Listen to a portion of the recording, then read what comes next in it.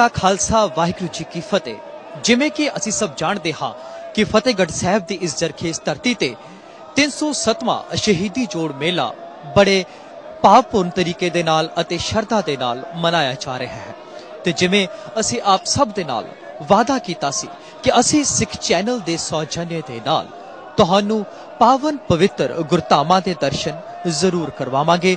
ਤਾਂ ਆਓ, ਸਭ ਤੋਂ ਪਹਿਲਾਂ ਅਸੀਂ ਤੁਹਾਨੂੰ ਲੈ ਚੱਲਦੇ ਹਾਂ ਗੁਰਦੁਆਰਾ ਸਾਹਿਬ ਠੰਡਾ ਬੁਰਜ ਦੇ ਕੋਲ, ਜਿੱਥੇ ਛੋਟੇ ਛੋਟੇ ਮਾਸੂਮ ਬੱਚੇ ਅਤੇ ਮਾਤਾ ਗੁਜਰ ਕੌਰ ਜੀ ਨੂੰ ਰੱਖਿਆ ਗਿਆ ਸੀ। ਤੇ ਆਓ, ਦਰਸ਼ਨ ਕਰਦੇ ਹਾਂ ਗੁਰਦੁਆਰਾ ਸ਼੍ਰੀ ਠੰਡਾ ਬੁਰਜ।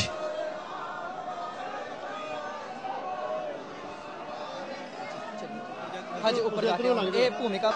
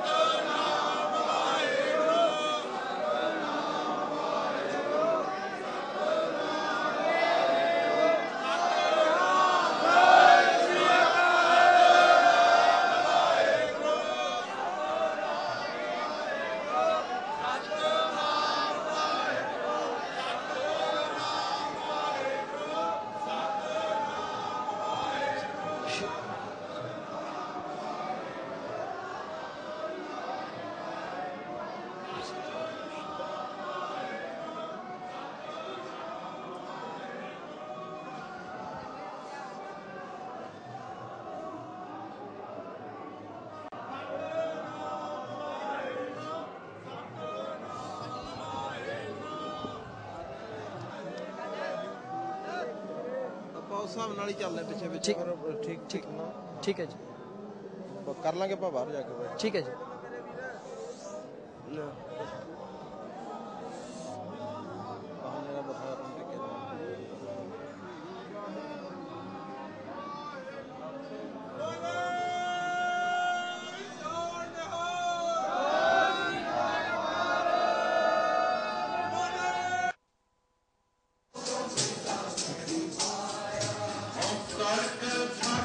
ਇਸ ਵੇਲੇ ਅਸੀਂ ਦਰਸ਼ਨ ਕਰ ਰਹੇ ਹਾਂ ਗੁਰਦੁਆਰਾ ਸ਼੍ਰੀ ਠੰਡਾ ਬੁਰਜ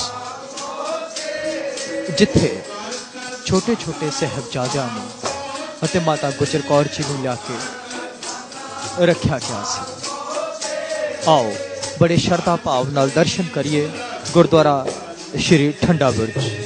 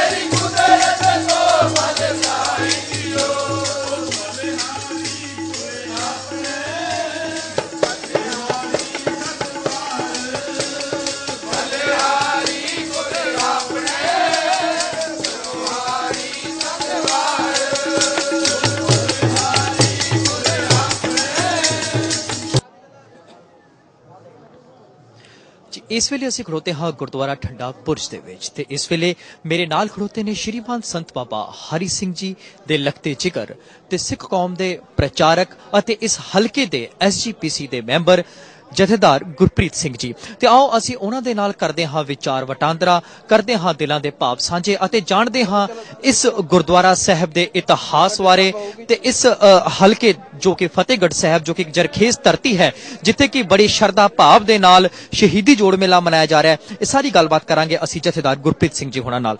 ਜਥੇਦਾਰ ਜੀ, ਸਭ ਤੋਂ ਪਹਿਲਾਂ ਫਤਿਹ ਦੀ ਸਾਂਝ ਪਾਈਏ। ਵਾਹਿਗੁਰੂ ਜੀ ਕਾ ਖਾਲਸਾ, ਵਾਹਿਗੁਰੂ ਜੀ ਕੀ ਫਤਿਹ।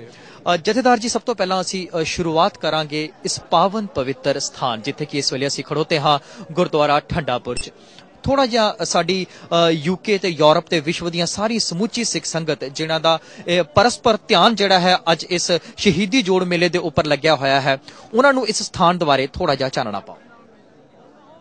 ਇਹ ਜੀ ਉਹ ਪਾਵਨ ਅਸਥਾਨ ਹੈ ਬਿਕਰਮੀ ਸੰਮਤ 1761 ਜੋ ਕਿ ਹੁਣ ਨਾਨਕਸ਼ਾਹੀ ਜੀ ਨੂੰ ਅਸੀਂ ਗਿਣਦੇ ਹਾਂ।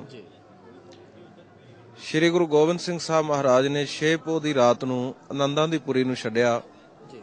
ਪਰਿਵਾਰ ਵਿਛੋੜੇ ਤੇ ਆ ਕੇ ਸਤਿਗੁਰੂ ਦਾ ਪਰਿਵਾਰ ਤਿੰਨ ਹਿੱਸਿਆਂ ਵਿੱਚ ਹੋਇਆ। ਇੱਕ ਵਿਧੀ ਨੇ ਐਸੀ ਖੇਡ ਪ੍ਰਮਾਤਮਾ ਨੇ ਗੁਰੂ ਕਲਗੀਧਰ ਪਾਤਸ਼ਾਹ ਨੇ ਖੇਡੀ ਕਿ ਦੇਖੋ ਉਮਰ ਦੇ ਦੋ ਹਿੱਸਿਆਂ ਵਿੱਚ ਸਹਾਰੇ ਦੀ ਲੋੜ ਹੁੰਦੀ ਹੈ। ਇੱਕ ਬੱਚੇ ਨੂੰ ਤੇ ਇੱਕ ਬੁੱਢੇ ਨੂੰ।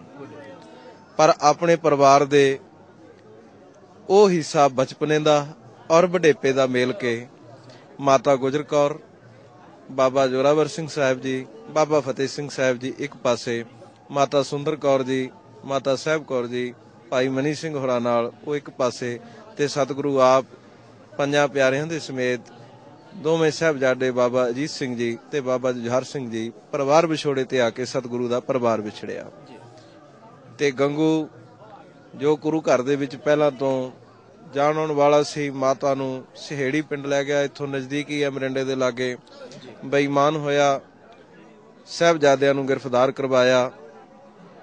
ਤੇ ਜਦੋਂ ਮਰਿੰਡੇ ਤੋਂ ਸਾਹਿਬਜ਼ਾਦਿਆਂ ਨੂੰ ਗ੍ਰਿਫਤਾਰ ਕਰਕੇ ਉੱਥੋਂ ਦਾ ਥਾਣੇਦਾਰ ਲਿਆਇਆ, ਤੇ ਸਭ ਤੋਂ ਪਹਿਲਾਂ ਲਿਆ ਕੇ ਸਾਹਿਬਜ਼ਾਦਿਆਂ ਨੂੰ ਇਸ ਬੁਰਜ ਦੇ ਵਿੱਚ, ਠੰਡਾ ਬੁਰਜ ਨੂੰ ਕਿਹਾ ਜਾਂਦਾ ਸੀ। ਇਹ ਉਹ ਬੁਰਜ ਸੀ ਜਿੱਥੇ ਜਦੋਂ ਪੂਰੀ ਹਾੜ ਤੇ ਜੇਠ ਦੀ ਤਨ ਨੂੰ ਸਾੜਦੀ ਜਦੋਂ ਤਪਸ਼ ਪੈਂਦੀ ਸੀ, ਇਹ ਉਸ ਸਮੇਂ ਵੀ ਠੰਡਾ ਰਹਿੰਦਾ ਸੀ। ਇਹ ਉਸ ਸਮੇਂ ਵੀ ਠੰਡਾ ਰਹਿੰਦਾ ਸੀ ਤੇ ਹੁਣ ਹਿਸਾਬ ਲਾਓ ਕਿ ਅੱਜ ਦੀ ਜਿਹੜੀ ਠੰਡ ਆ, ਅੱਜ ਅਸੀਂ ਕੋਟ ਪਾ ਕੇ ਆਪਣੇ ਆਪ ਨੂੰ ਢੱਕ ਕੇ ਤਾਂ ਵੀ ਇੱਥੇ ਮੈਂ ਰਾਤ 1 ਵਜੇ ਇੱਥੇ ਆਇਆ, ਕੁਝ ਸਮਾਂ ਬੈਠਾ, ਮੇਰੇ ਤੋਂ ਬੈਠਿਆ ਨਹੀਂ ਗਿਆ। ਮੈਂ ਸੋਚਦਾ ਸੀ ਧੰਨ ਮਾਤਾ ਕਿ ਤੁਸੀਂ ਇਸ ਜਗ੍ਹਾ ਦੇ ਉੱਤੇ ਕਿਵੇਂ ਬ੍ਰਹਮ ਗਿਆਨ ਦੇ ਅਵਸਥਾ ਦੇ ਨਾਲ ਆਪਣੇ ਸਹਿਬਜ਼ਾਦਿਆਂ ਨੂੰ ਆਤਮਿਕ ਉਪਦੇਸ਼ ਦਿੱਤਾ ਕਹਿਣ ਤੋਂ ਭਾਵ ਇਹ ਸੀ ਕਿ ਇਹ ਇੱਕ ਸਜ਼ਾ ਸੀ ਕਿ ਦੇਖੋ ਜਿਹੜਾ ਅਤ ਦਰਜੇ ਦੀ ਗਰਮੀ ਦੇ ਵਿੱਚ ਜਿਹੜੀ ਜਗ੍ਹਾ ਠੰਡੀ ਰਹਿੰਦੀ ਹੈ ਤੇ ਠੰਡ ਦੇ ਵਿੱਚ ਉਹਦਾ ਕੀ ਹਾਲ ਹੋਊਗਾ? ਵੀ ਇਸ ਠੰਡ ਦੀ ਤੜਫ ਤੋਂ ਹੀ ਘਬਰਾ ਕੇ ਇੱਕ ਵਡੇਪਾ ਹੈ ਦੂਜਾ ਬਚਪਨ ਹੈ ਕਿ ਗੁਰੂ ਗੋਬਿੰਦ ਸਿੰਘ ਸਾਹਿਬ ਮਹਾਰਾਜ ਦੇ ਲਖ ਦੇ ਜਿਗਰ ਜਿਹੜੇ ਨੇ ਉਹ ਡੋਲ ਜਾਣਗੇ। ਇੱਕ ਡਲਾਉਣ ਵਾਸਤੇ ਇੱਕ ਦੁਸ਼ਮਣ ਦਾ ਇੱਕ ਇੱਕ ਸਜ਼ਾ ਮੁਕਰ ਪਹਿਲਾਂ ਹੀ ਕਰ ਦਿੱਤੀ ਸਤਿਗੁਰੂ ਦੇ ਪਰਿਵਾਰ ਵਾਸਤੇ। ਔਰ ਮੈਂ ਆਪ ਜੀ ਨੂੰ ਬੇਨਤੀ ਕਰਦੇ ਆ ਇਹ ਉਹੀ ਸਥਾਨ ਆ ਜਿੱਥੇ ਬਾਬਾ ਮੋਤੀ ਰਾਮ ਮਹਿਰਾ ਜੀ ਮਾਤਾ ਜੀ ਨੂੰ ਔਰ ਬੱਚਿਆਂ ਦੇ ਲਈ ਦੁੱਧ ਲੈ ਕੇ ਪਹੁੰਚੇ ਸੀ ਕਿ ਮਾਤਾ ਅਸੀਂ ਹੋਰ ਤਾਂ ਕੁਝ ਨਹੀਂ ਆਪ ਜੀ ਨੂੰ ਦੇ ਸਕਦੇ। ਉਸ ਗੁਰਸਿੱਖ ਦੇ ਨਾਂ ਤੇ ਵੀ ਇੱਥੇ ਪਾਵਨ ਜਿਹੜਾ ਸਥਾਨ ਆ ਉਹ ਬਣਿਆ ਹੋਇਆ ਫਾਟਕ ਤੋਂ ਪਾਰ। ਜਥੇਦਾਰ ਜੀ ਇੱਥੇ ਇੱਕ ਸਵਾਲ ਜ਼ਿਹਨ ਦੇ ਵਿੱਚ ਆਉਂਦਾ ਹੈ ਕਿ ਇੱਥੇ ਇਤਿਹਾਸ ਵਾਲਾ ਅਗਰ ਝਾਤੀ ਮਾਰੀਏ ਤਾਂ ਇੱਥੇ 8 ਬੁਰਜ ਸਨ ਗਿਣਤੀ ਦੇ। ਉਸ ਬਾਰੇ ਥੋੜਾ ਜਿਹਾ ਕੁਝ ਚਾਨਣਾ ਪਾਓ। ਦੇਖੋ ਜੀ ਪ੍ਰਾਤਨ ਸਮੇਂ ਦੇ ਵਿੱਚ ਬਹੁਤ ਕੁਝ ਜਿਹੜਾ ਸੀ ਤੈਸ ਨੈਸ ਹੋਇਆ। ਕੁਝ ਪ੍ਰਾਤਨ ਸਮੇਂ 'ਚ ਹੋਇਆ ਤੇ ਕੁਝ ਅਸੀਂ ਮੌਜੂਦਾ ਸਮੇਂ ਦੇ ਵਿੱਚ ਵੀ ਗਵਾ ਗਏ। ਜੀ। ਇਹਦੇ ਵਿੱਚ ਕੋਈ ਦੋ ਰਾਵਾਂ ਨਹੀਂ। ਬੁਰਜ ਤੋਂ ਇਲਾਵਾ ਇਹ ਤੋਂ ਇੱਕ ਸੁਰੰਗ ਵੀ ਜਾਂਦੀ ਸੀ ਭੋਰਾ ਸਾਹਿਬ ਤੱਕ। ਜਿੱਥੇ ਫਤਿਹਗੜ੍ਹ ਸਾਹਿਬ ਉਹ ਤਖਤ ਸੀ ਨਾ ਇਹਦੇ ਵਿੱਚੋਂ ਇੱਕ ਸੁਰੰਗ ਜਾਂਦੀ ਸੀ ਉਹ ਅੱਜ ਵੀ ਮੌਜੂਦ ਆ। ਸਾਡੇ ਕੋਲ ਪ੍ਰੋਫੈਸਰ ਸਾਹਿਬ ਇੱਕ ਅਮਰੀਕਾ ਦੇ ਵਿੱਚ ਉਹ ਅੱਜ ਵੀ ਸਬੂਤ ਨੇ ਇਸ ਗੱਲ ਦਾ। ਉਹ ਕਹਿੰਦੇ ਅਸੀਂ ਆਪ ਅੱਖੀਂ ਉਹ ਸੁਰੰਗ ਜਿਹੜੀ ਹੈ ਉਹ ਇੱਥੇ ਦੇਖੀ ਆ। ਇੱਕ ਇੱਥੇ ਲਾਗੀ ਇੱਕ ਖੂਹ ਆ ਜਿਹੜਾ ਬੁਰਜ ਦਾ ਤੁਸੀਂ ਉਹਦੇ ਵਿੱਚੋਂ ਵੀ ਇੱਕ ਸੁਰੰਗ ਜਾਂਦੀ ਸੀ। ਕਹਿਣ ਦਾ ਮਤਲਬ ਕਿਉਂਕਿ ਇਹ ਜਦੋਂ ਤੁਸੀਂ ਇਤਿਹਾਸ ਪੜੋਗੇ ਸਰਹੰਦ ਜਿਹੜੀ ਸੀ ਇਹਨੂੰ ਹਿੰਦ ਦਾ ਸਿਰ ਮੰਨਿਆ ਸੀ। ਸਿਰ ਮੰਨਿਆ ਸੀ। ਇੱਥੇ ਔਰੰਗਜ਼ੇਬ ਤੱਕ ਤੁਸੀਂ ਇਤਿਹਾਸ ਪੜੋ ਬਾਦਸ਼ਾਹ ਆਮ ਖਾਸ ਬਾਗ ਦੇ ਵਿੱਚ ਆ ਕੇ ਬੈਠ ਕੇ ਇੱਕ ਆਰਾਮਗਾਹ ਜਿਵੇਂ ਅੱਜ ਲੋਕੀ ਸੰਸਾਰੀ ਪ੍ਰਵਿਰਤੀ ਵਿੱਚ ਕੋਈ ਸ਼ਿਮਲੇ ਜਾਂਦਾ, ਕੋਈ ਕਿਤੇ ਜਾਂਦਾ, ਇੱਕ ਇਹਨੂੰ ਇਸ ਤਰ੍ਹਾਂ ਜਿਹੜੇ ਹਿੰਦੁਸਤਾਨ ਦੇ ਬਾਦਸ਼ਾਹ ਹੁੰਦੇ ਸੀ, ਉਹ ਉਸ ਸਮੇਂ ਨੂੰ ਉਸ ਤਰ੍ਹਾਂ ਵੀ ਤਵੱਜੋ ਦਿੰਦੇ ਸੀ, ਇੱਥੇ ਆ ਕੇ ਠਹਿਰਦੇ ਸੀ। ਇੱਥੇ ਕਿਲਾ ਬਣਿਆ ਹੋਇਆ ਸੀ, ਉਹਦੇ ਨਾਲ ਨਾਲ ਇੱਕ ਪਾਣੀ ਦਾ ਇੰਤਜ਼ਾਮ ਕੀਤਾ ਹੋਇਆ ਸੀ। ਜਿਹੜੇ ਬਾਥਰੂਮ ਬਣੇ ਹੋਏ ਸੀ ਮੈਂ ਇਤਿਹਾਸ ਵਿੱਚ ਪੜ੍ਹਿਆ ਜਾ ਕੇ ਵੇਖਿਆ ਉਸ ਸਮੇਂ ਦੇ ਜਿਹੜੇ ਬਣੇ ਹੋਏ ਸੀ ਅੱਜ ਦੇ ਕਿਤੇ ਮਤਲਬ ਕਹਿਣ ਦਾ ਭਾਵ ਹੈ ਵੀ ਇਸ ਤਰ੍ਹਾਂ ਦਾ ਇੱਕ ਇਹ ਸਟੇਸ਼ਨ ਸੀ ਇੱਕ ਜਗ੍ਹਾ ਸੀ ਇਹ। ਜਗ੍ਹਾ ਸੀ। ਜਗ੍ਹਾ ਸੀਗੀ ਇੱਥੇ ਬਹੁਤ ਕੁਝ ਕਾਫੀ ਕੁਝ ਇੱਥੇ ਹੈਗਾ ਇਸ ਤਰ੍ਹਾਂ ਇਤਿਹਾਸ ਦੇ ਅਨੁਸਾਰ ਇੱਥੇ 8 ਬੁਰਜ ਸਨ ਔਰ ਜਿਸ ਵੇਲੇ ਬਾਬਾ ਬੰਦਾ ਸਿੰਘ ਬਹਾਦਰ ਨੇ ਸਰਹੰਦ ਫਤਿਹ ਕੀਤੀ ਤਾਂ ਜਦੋਂ ਉਹਨਾਂ ਨੂੰ ਪਤਾ ਲੱਗਿਆ ਕਿ ਇੱਥੇ ਧੰਨ ਧੰਨ ਸ੍ਰੀ ਗੁਰੂ ਗੋਬਿੰਦ ਸਿੰਘ ਮਹਾਰਾਜ ਜੀ ਦੇ ਲਖਤੇ ਜਿਗਰਾਂ ਨੂੰ ਸ਼ਹੀਦ ਕਰ ਦਿੱਤਾ ਗਿਆ ਮਾਤਾ ਗੁਜਰ ਕੌਰ ਜੀ ਨੂੰ ਸ਼ਹੀਦ ਕਰ ਦਿੱਤਾ ਗਿਆ ਤੇ ਉਹਨਾਂ ਨੇ ਉਹ ਸੱਤ ਬੁਰਜ ਜਿਹੜੇ ਸਨ ਉਹ ਢਾ ਦਿੱਤੇ ਸਨ ਤੇ ਇੱਕ ਯਾਦਗਾਰ ਦੇ ਰੂਪ ਦੇ ਵਿੱਚ ਜਿੱਥੇ ਕਿ ਜੀ। ਜਿੱਥੇ ਇੱਕ ਬੁਰਜ ਇਹ ਬਾਕੀ ਛੱਡਿਆ। ਇੱਥੇ ਸਰਹੰਦ ਦੇ ਵਿੱਚ ਉਦਾਸੀਆਂ ਦਾ ਡੇਰਾ। ਜੀ।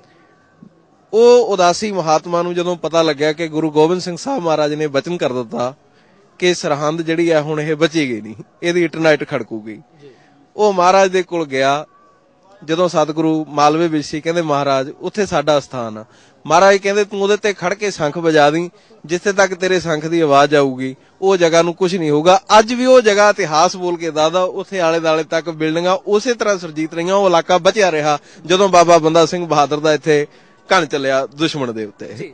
ਇਤਿਹਾਸ ਦੇ ਕਹੇ ਅਨੁਸਾਰ ਬਾਬਾ ਬੰਦਾ ਸਿੰਘ ਬਹਾਦਰ ਨੇ ਇਸ ਬੁਰਜ ਨੂੰ ਇਸ ਕਰਕੇ ਨਹੀਂ ਢਾਇਆ ਕਿਉਂਕਿ ਇਹ ਬੁਰਜ ਜੋ ਕਿ ਛੋਟੇ ਸਾਹਿਬਜ਼ਾਦੇ ਅਤੇ ਮਾਤਾ ਗੁਜਰ ਕੌਰ ਜੀ ਦੀ ਚਰਨ ਛੋਹ ਪ੍ਰਾਪਤ ਇਹ ਬੁਰਜ ਸੀ ਜਿਸ ਦਾ ਕਿ ਅੱਜ ਅਸੀਂ ਸਮੁੱਚੀ ਸਿੱਖ ਸੰਗਤ ਇੱਥੇ ਪਹੁੰਚ ਕਰਕੇ, ਇਸ ਸ਼ਹੀਦੀ ਜੋੜ ਮੇਲੇ ਤੇ ਪਹੁੰਚ ਕਰਕੇ ਦਰਸ਼ਨ ਕਰ ਰਹੇ ਹਾਂ ਅਤੇ ਆਪਣਾ ਜੀਵਨ ਸਫਲਾ ਕਰ ਰਹੇ ਹਾਂ। ਜੀ, ਫਤਿਹ ਦੀ ਸਾਂਝ ਪਾਈਏ ਜੀ। ਵਾਹਿਗੁਰੂ ਜੀ ਕਾ ਖਾਲਸਾ, ਵਾਹਿਗੁਰੂ ਜੀ ਕੀ ਫਤਿਹ।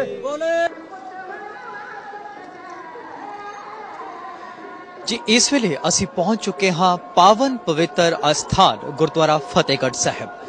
ਜੀ ਹਾਂ, ਇਹ ਉਹ ਸਥਾਨ ਹੈ ਜਿੱਥੇ ਛੋਟੇ-ਛੋਟੇ ਬੱਚਿਆਂ ਨੂੰ ਨੀਹਾਂ ਦੇ ਵਿੱਚ ਚਣਵਾ ਦਿੱਤਾ ਗਿਆ। ਜਿਵੇਂ ਕਿ ਆਪ ਸਭ ਨੇ ਦਰਸ਼ਨ ਕੀਤੇ ਹਨ ਠੰਡਾ ਬੁਰਜ ਦੇ ਜਿੱਥੇ ਕਿ ਬੱਚਿਆਂ ਨੂੰ ਲਿਆ ਕੇ ਰੱਖਿਆ ਗਿਆ ਸੀ। ਉਸ ਤੋਂ ਬਾਅਦ ਉਹਨਾਂ ਬੱਚਿਆਂ ਨੂੰ ਠੰਡੇ ਬੁਰਜ ਤੋਂ ਲਿਆ ਕਰਕੇ ਇਸੇ ਸਥਾਨ ਦੇ ਉੱਪਰ ਨੀਹਾਂ ਦੇ ਵਿੱਚ ਚਿਣਵਾ ਦਿੱਤਾ ਗਿਆ। ਆਓ ਬੜੇ ਹੀ ਸ਼ਰਧਾ ਭਾਵ ਦੇ ਨਾਲ ਦਰਸ਼ਨ ਕਰੀਏ ਇਸ ਪਾਵਨ ਪਵਿੱਤਰ ਅਸਥਾਨ ਗੁਰਦੁਆਰਾ ਸ਼੍ਰੀ ਫਤਿਹਗੜ੍ਹ ਸਾਹਿਬ ਜੀ ਦੇ।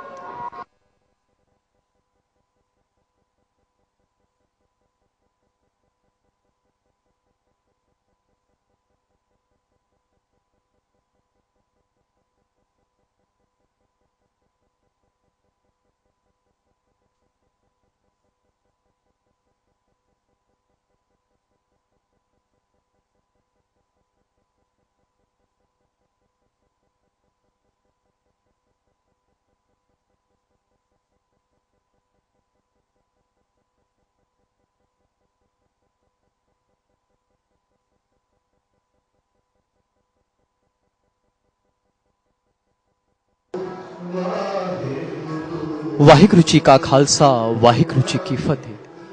ਇਹ ਉਹ ਪਾਵਨ ਤੇ ਪਵਿੱਤਰ ਸਥਾਨ ਹੈ, ਜਿੱਥੇ ਬਾਬਾ ਜੋਰਾਵਰ ਸਿੰਘ ਜੀ ਅਤੇ ਬਾਬਾ ਫਤਿਹ ਸਿੰਘ ਜੀ ਨੂੰ ਸ਼ਹੀਦ ਕੀਤਾ ਗਿਆ। ਆਓ, ਬੜੇ ਪਿਆਰ ਅਤੇ ਸ਼ਰਧਾ ਭਾਵ ਦੇ ਨਾਲ ਦਰਸ਼ਨ ਕਰੀਏ ਇਸ ਪਾਵਨ ਪਵਿੱਤਰ ਸ਼ਹੀਦੀ ਅਸਥਾਨ ਤੇ।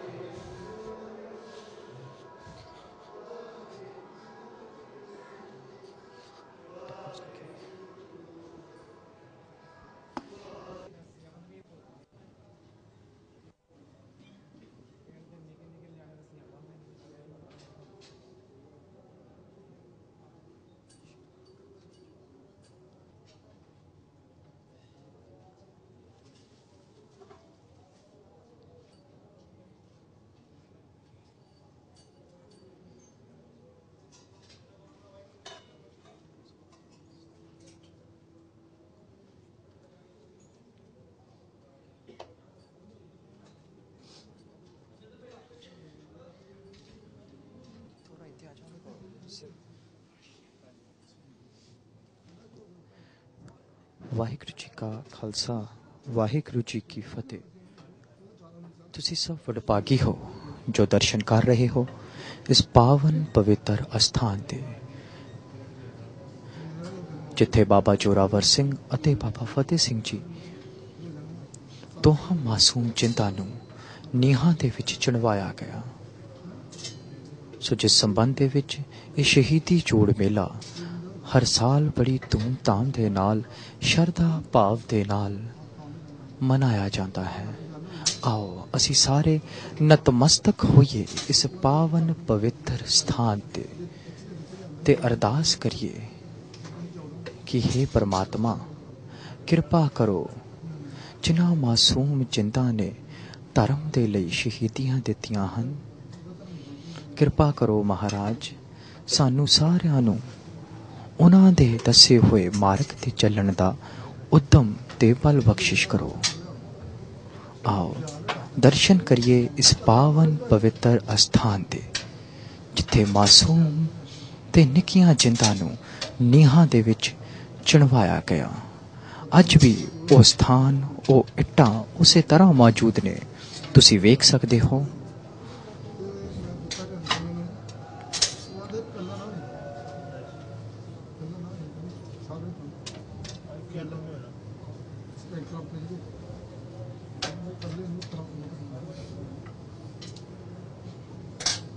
ਜੀ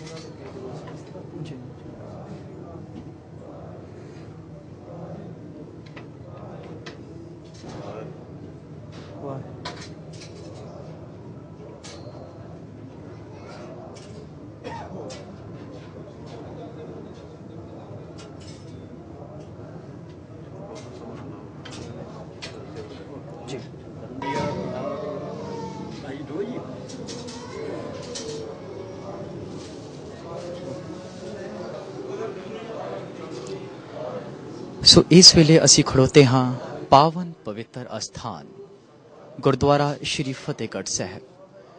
ਤੇ ਅਸੀਂ ਦਰਸ਼ਨ ਕੀਤੇ ਨੇ ਉਸ ਪਾਵਨ ਪਵਿੱਤਰ ਅਸਥਾਨ ਤੇ, ਜਿੱਥੇ ਛੋਟੀਆਂ-ਛੋਟੀਆਂ ਚਿੰਤਾ ਨੂੰ ਨੀਹਾਂ ਦੇ ਵਿੱਚ ਜਿਉਂਦੇ ਚੁਣਵਾ ਦਿੱਤਾ ਗਿਆ। ਤੇ ਆਓ ਗੱਲ ਕਰਦੇ ਹਾਂ ਇਸ ਪਾਵਨ ਪਵਿੱਤਰ ਅਸਥਾਨ ਦੇ ਸੇਵਾਦਾਰ ਜੀ ਨਾਲ ਤੇ ਜਾਣਦੇ ਹਾਂ ਉਹਨਾਂ ਤੋਂ ਇਸ ਅਸਥਾਨ ਦੇ ਬਾਰੇ ਦੇ ਵਿੱਚ। ਜੀ ਸਭ ਤੋਂ ਪਹਿਲਾਂ ਫਤਿਹ ਦੀ ਸਾਂਝ ਪਾਈਏ। ਵਾਹਿਗੁਰੂ ਜੀ ਕਾ ਖਾਲਸਾ। ਵਾਹਿਗੁਰੂ ਜੀ ਕੀ ਫਤਿਹ। ਆਪ ਜੀ ਇੱਥੇ ਕਿੰਨੇ ਚਿਰ ਤੋਂ ਸੇਵਾ ਕਰ ਰਹੇ ਹੋ ਜੀ? 20 ਸਾਲ ਤੋਂ ਅਸੀਂ ਇਸ ਅਸਥਾਨ ਦੀ ਸੇਵਾ ਤੇ ਕਰ ਰਹੇ ਹਾਂ। ਜੀ। ਕਿਸ ਤਰ੍ਹਾਂ ਦਾ ਮਹਿਸੂਸ ਹੁੰਦਾ ਹੈ ਇਸ ਜਗ੍ਹਾ ਦੇ ਉੱਪਰ ਸੇਵਾ ਕਰਕੇ? ਮਨ ਦੇ ਵਿੱਚ ਕਿਸ ਤਰ੍ਹਾਂ ਦੇ ਖਿਆਲ ਆਉਂਦੇ ਨੇ? ਬੜੀ ਆਪਣੇ ਜਦੋਂ ਇਹਨਾਂ ਦੇ ਬਾਰੇ ਸੋਚਨੇ ਆ ਬਹੁਤ ਵੱਡਾ ਇਹਨਾਂ ਦੀ ਕੁਰਬਾਨੀ ਹੈ। ਸੱਚੇ ਪਾਤਸ਼ਾਹ ਜਦੋਂ ਅੱਖਾਂ ਚੋਂ ਨੀਰ ਵਾਗਾ ਆਉਂਦਾ ਹੈ ਜਦੋਂ ਇਹਨਾਂ ਦੀ ਕੁਰਬਾਨੀ ਨੂੰ ਯਾਦ ਕਰਨੇ ਆ, ਨਹੀਂ ਤੇ ਚਾਰ ਆਪਣਾ ਇਹਨਾਂ ਨੇ ਧਰਮ ਨਹੀਂ ਛੱਡਿਆ, ਵੇਖੋ, ਬੜੇ ਬੜੇ ਵੱਡੇ ਲਾਲਚ ਦਿੱਤੇ ਜਾਂਦੇ ਰਹੇ, ਵੀ ਇਸ ਤੋਂ ਅਹਿਸਾਸ ਹੁੰਦਾ ਵੀ ਸਾਡੇ ਬੱਚਿਆਂ ਨੂੰ ਵੀ ਇਹ ਆਪਣਾ ਸਿੱਖੀ ਧਰਮ ਬਾਰੇ, ਵੀ ਆਪਣਾ ਸਿੱਖੀ ਦੇ ਬਾਰੇ ਸੋਚਣਾ ਚਾਹੀਦਾ ਹੈ ਤੇ ਇਸ ਤੋਂ ਆਪਾਂ ਨੂੰ ਵੱਡਾ ਅਹਿਸਾਸ ਮਿਲਦਾ ਵੀ ਇਸ ਇਸ ਸਿੱਖੀ ਬਾਰੇ ਸੋਚਣਾ ਚਾਹੀਦਾ, ਸੱਚੇ ਪਾਤਸ਼ਾਹ ਕਿਰਪਾ ਕਰ ਰਹਿਣ ਤਾਂ ਕਰਨ, ਬਖਸ਼ਾ ਕਰਨ। ਜਿਵੇਂ ਕਿ ਸੇਵਾਦਾਰ ਜੀ ਉਹਨਾਂ ਨੇ ਦੱਸਿਆ ਕਿ ਇੱਥੇ ਮਨ ਭਰ ਆਉਂਦਾ ਹੈ ਇਸ ਪਾਵਨ ਪਵਿੱਤਰ ਸਥਾਨ ਦੇ ਦਰਸ਼ਨ ਕਰਕੇ। ਸੋ, ਲੜੀ ਦੇ ਤਹਿਤ ਸਾਡੇ ਨਾਲ ਜਥੇਦਾਰ ਸਾਹਿਬ ਮੌਜੂਦ ਨੇ। ਅਸੀਂ ਉਹਨਾਂ ਤੋਂ ਜਾਣਦੇ ਹਾਂ ਇਸ ਜਗ੍ਹਾ ਦੇ ਇਤਿਹਾਸ ਬਾਰੇ। ਜਥੇਦਾਰ ਜੀ, ਜਿਵੇਂ ਕਿ ਅਸੀਂ ਗੱਲ ਕੀਤੀ ਸੀ ਤੁਰੇ ਸਾਂ ਠੰਡੇ ਬੁਰਜ ਤੋਂ, ਇਸ ਵੇਲੇ ਅਸੀਂ ਸਥਾਨ ਦੇ ਉੱਪਰ ਪਹੁੰਚੇ ਹਾਂ। ਫਤਿਹਗੜ੍ਹ ਸਾਹਿਬ, ਉਹ ਸਥਾਨ ਜਿੱਥੇ ਛੋਟੇ-ਛੋਟੇ ਬੱਚਿਆਂ ਨੂੰ ਨੀਹਾਂ 'ਚ ਚਣਾ ਦਿੱਤਾ ਗਿਆ। ਕੀ ਹੋਇਆ, ਕਿਸ ਤਰ੍ਹਾਂ ਹੋਇਆ? ਥੋੜਾ ਜਿਹਾ ਸਾਡੀ ਸੰਗਤ ਦੇ ਨਾਲ ਵਿਚਾਰ ਸਾਂਝੇ ਕਰੋ।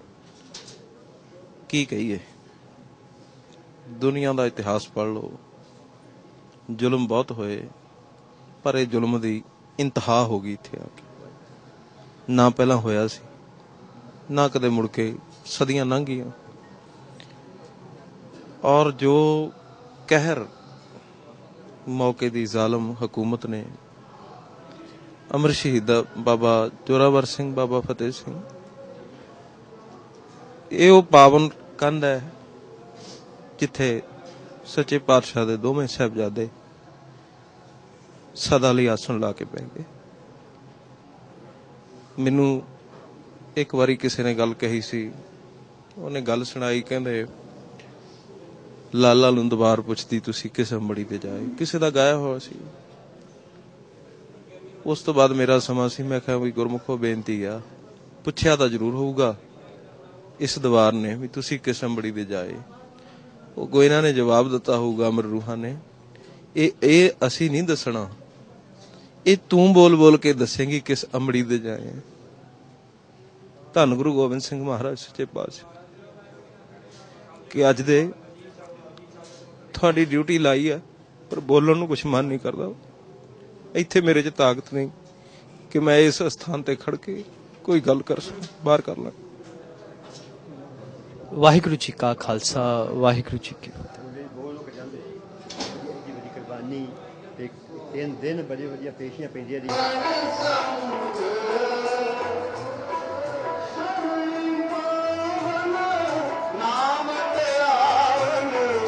nossa redenção.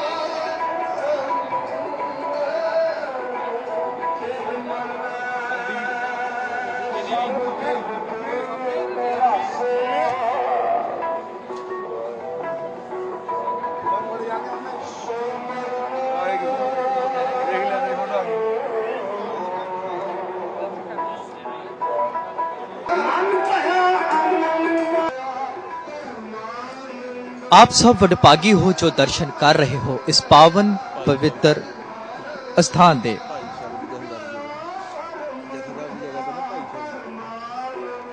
ਸੋ ਜਿਵੇਂ ਕਿ ਤੁਸੀਂ ਵੇਖਿਆ ਕਿ ਇਸ ਪਾਵਨ ਪਵਿੱਤਰ ਅਸਥਾਨ ਦੇ ਦਰਸ਼ਨ ਕਰਕੇ ਸਹਸਾ ਹੀ ਅੱਖਾਂ ਚੋਂ ਨੀਰ ਬਹਿ ਤੁਰਦਾ ਹੈ ਸਾਡੇ ਨਾਲ ਜੁੜੇ ਹੋਏ ਨੇ ਭਾਈ Gurpreet Singh ji member SGPC committee ਅਤੇ ਸਿੱਖ ਪੰਥ ਦੇ ਪ੍ਰਚਾਰਕ ਨੇ, ਅਸੀਂ ਉਹਨਾਂ ਤੋਂ ਜਾਣਦੇ ਹਾਂ ਇਸ ਗੁਰੂ ਘਰ ਦੇ ਇਤਿਹਾਸ ਬਾਰੇ। ਭਾਈ ਸਾਹਿਬ ਜੀ ਜਿਵੇਂ ਕਿ ਅਸੀਂ ਗੱਲ ਕਰ ਰਹੇ ਸੀ ਕਿ ਇਹ ਉਹ ਸਥਾਨ ਹੈ ਜਿੱਥੇ ਆਂਦੇ ਹੀ ਸਹਸਾ ਅੱਖਾਂ ਚੋਂ ਜਲ ਬਹਿ ਉੱਠਦਾ ਹੈ। ਇਸ ਸਥਾਨ ਦੇ ਮਹਾਤਮ ਦੇ ਬਾਰੇ ਸਾਡੇ ਅਸੀਂ ਚਾਹਾਂਗੇ ਕਿ ਸ਼ਬਦ ਤਾਂ ਨਹੀਂ ਹਨ ਇਸ ਜਗ੍ਹਾ ਦੀ ਕਿਸੇ ਵੀ ਅ, ਵਾਕਿਏ ਦੇ ਨਾਲ ਤੁਲਨਾ ਕੀਤੀ ਜਾ ਸਕੇ ਕਿਸੇ ਕਾਵ ਦੇ ਨਾਲ ਤੁਲਨਾ ਕੀਤੀ ਜਾ ਸਕੇ ਪਰ ਜਿਹੜੀ ਸਾਡੀ ਸਿੱਖ ਸੰਗਤ ਸਮੁੱਚੇ ਵਿਸ਼ਵ ਦੇ ਵਿੱਚ ਇਸ ਵੇਲੇ ਜਿਹੜੀ ਭਾਰਤ ਇੰਡੀਆ ਦੇ ਵਿੱਚ ਆ ਕਰਕੇ ਫਤਿਹਗੜ੍ਹ ਸਾਹਿਬ ਦੀ ਧਰਤੀ ਤੇ ਆ ਕੇ ਨਤਮਸਤਕ ਨਹੀਂ ਹੋ ਸਕੀ ਜਿਹੜੀ ਕਿ ਅਜੇ ਵੀ ਬਾਂਝੀ ਹੈ ਇਸ ਗੁਰੂ ਘਰ ਦੇ ਇਤਿਹਾਸ ਤੋਂ ਅਸੀਂ ਚਾਹਾਂਗੇ ਕਿ ਆਪ ਜੀ ਦੇ ਮੁਖਾਰਬਿੰਦ ਤੋਂ ਉਹਨਾਂ ਤੱਕ ਇਸ ਗੁਰੂ ਘਰ ਦਾ ਇਤਿਹਾਸ ਜਿਹੜਾ ਜ਼ਰੂਰ ਪਹੁੰਚੇ। ਥੋੜਾ ਜਿਹਾ ਇਸ ਗੁਰੂ ਘਰ ਦੇ ਮਹੱਤਵ ਬਾਰੇ ਦੱਸੋ। ਇੱਕ ਮੁਸਲਮਾਨ ਸ਼ਾਇਰ ਕਹਿੰਦਾ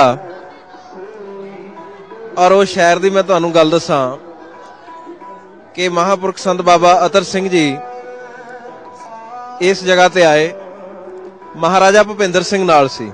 ਇੱਕ ਸਟੇਜ ਲੱਗੀ ਸਾਂਝੀ। ਤੇ ਉਹ ਸਟੇਜ ਤੇ ਮਹਾਂਪੁਰਸ਼ ਵੀ ਬੈਠੇ ਸੀ ਤੇ ਰਾਜਾ ਭੁਪਿੰਦਰ ਸਿੰਘ ਵੀ ਬੈਠਾ ਸੀ। ਜਦੋਂ ਉਸ ਮੁਸਲਮਾਨ ਸ਼ਹਿਰ ਨੇ ਇਥੋਂ ਦਾ ਇਤਿਹਾਸ ਸ਼ੁਰੂ ਕੀਤਾ, ਮਹਾਂਪੁਰਸ਼ਾਂ ਦੇ ਜਿਹੜਾ ਹਜੂਰੀਆ ਪਾਇਆ ਹੋਇਆ ਸੀ ਸਾਰਾ ਨੀਰ ਨਾਲ ਭਿੱਜ ਗਿਆ। ਮਹਾਰਾਜੇ ਭੁਪਿੰਦਰ ਸਿੰਘ ਦਾ ਰਮਾਲ ਭਿੱਜ ਗਿਆ। ਮੈਂ ਗੱਲ ਇਹ ਦੱਸਣੀ ਚਾਹਣਾ ਵੀ ਉਹਨੇ ਇੱਕ ਬੜੀ ਦਰਦਮਈ ਗੱਲ ਕਹੀ।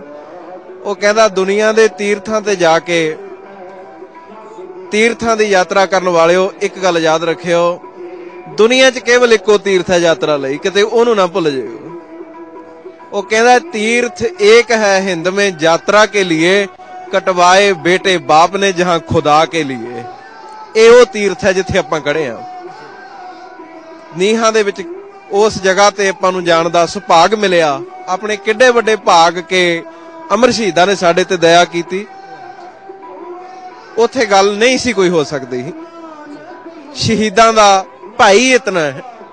ਉੱਥੇ ਖੜਿਆ ਵੀ ਨਹੀਂ ਜਾ ਸਕਦਾ। ਬਾਬਾ ਫਤਿਹ ਸਿੰਘ ਸਾਹਿਬ ਸ਼੍ਰੋਮਣੀ ਸ਼ਹੀਦਾਂ ਦੇ ਸਾਰਿਆਂ ਦੇ ਮੁਖੀ ਨੇ, ਉਹਨਾਂ ਦੀ ਅਗਵਾਈ ਵਿੱਚ ਸਿੰਘ ਸ਼ਹੀਦ ਅੱਜ ਵੀ ਖਾਲਸਾ ਪੰਥ ਦੇ ਉੱਤੇ ਕਿਰਪਾ ਕਰ ਰਹੇ ਨੇ।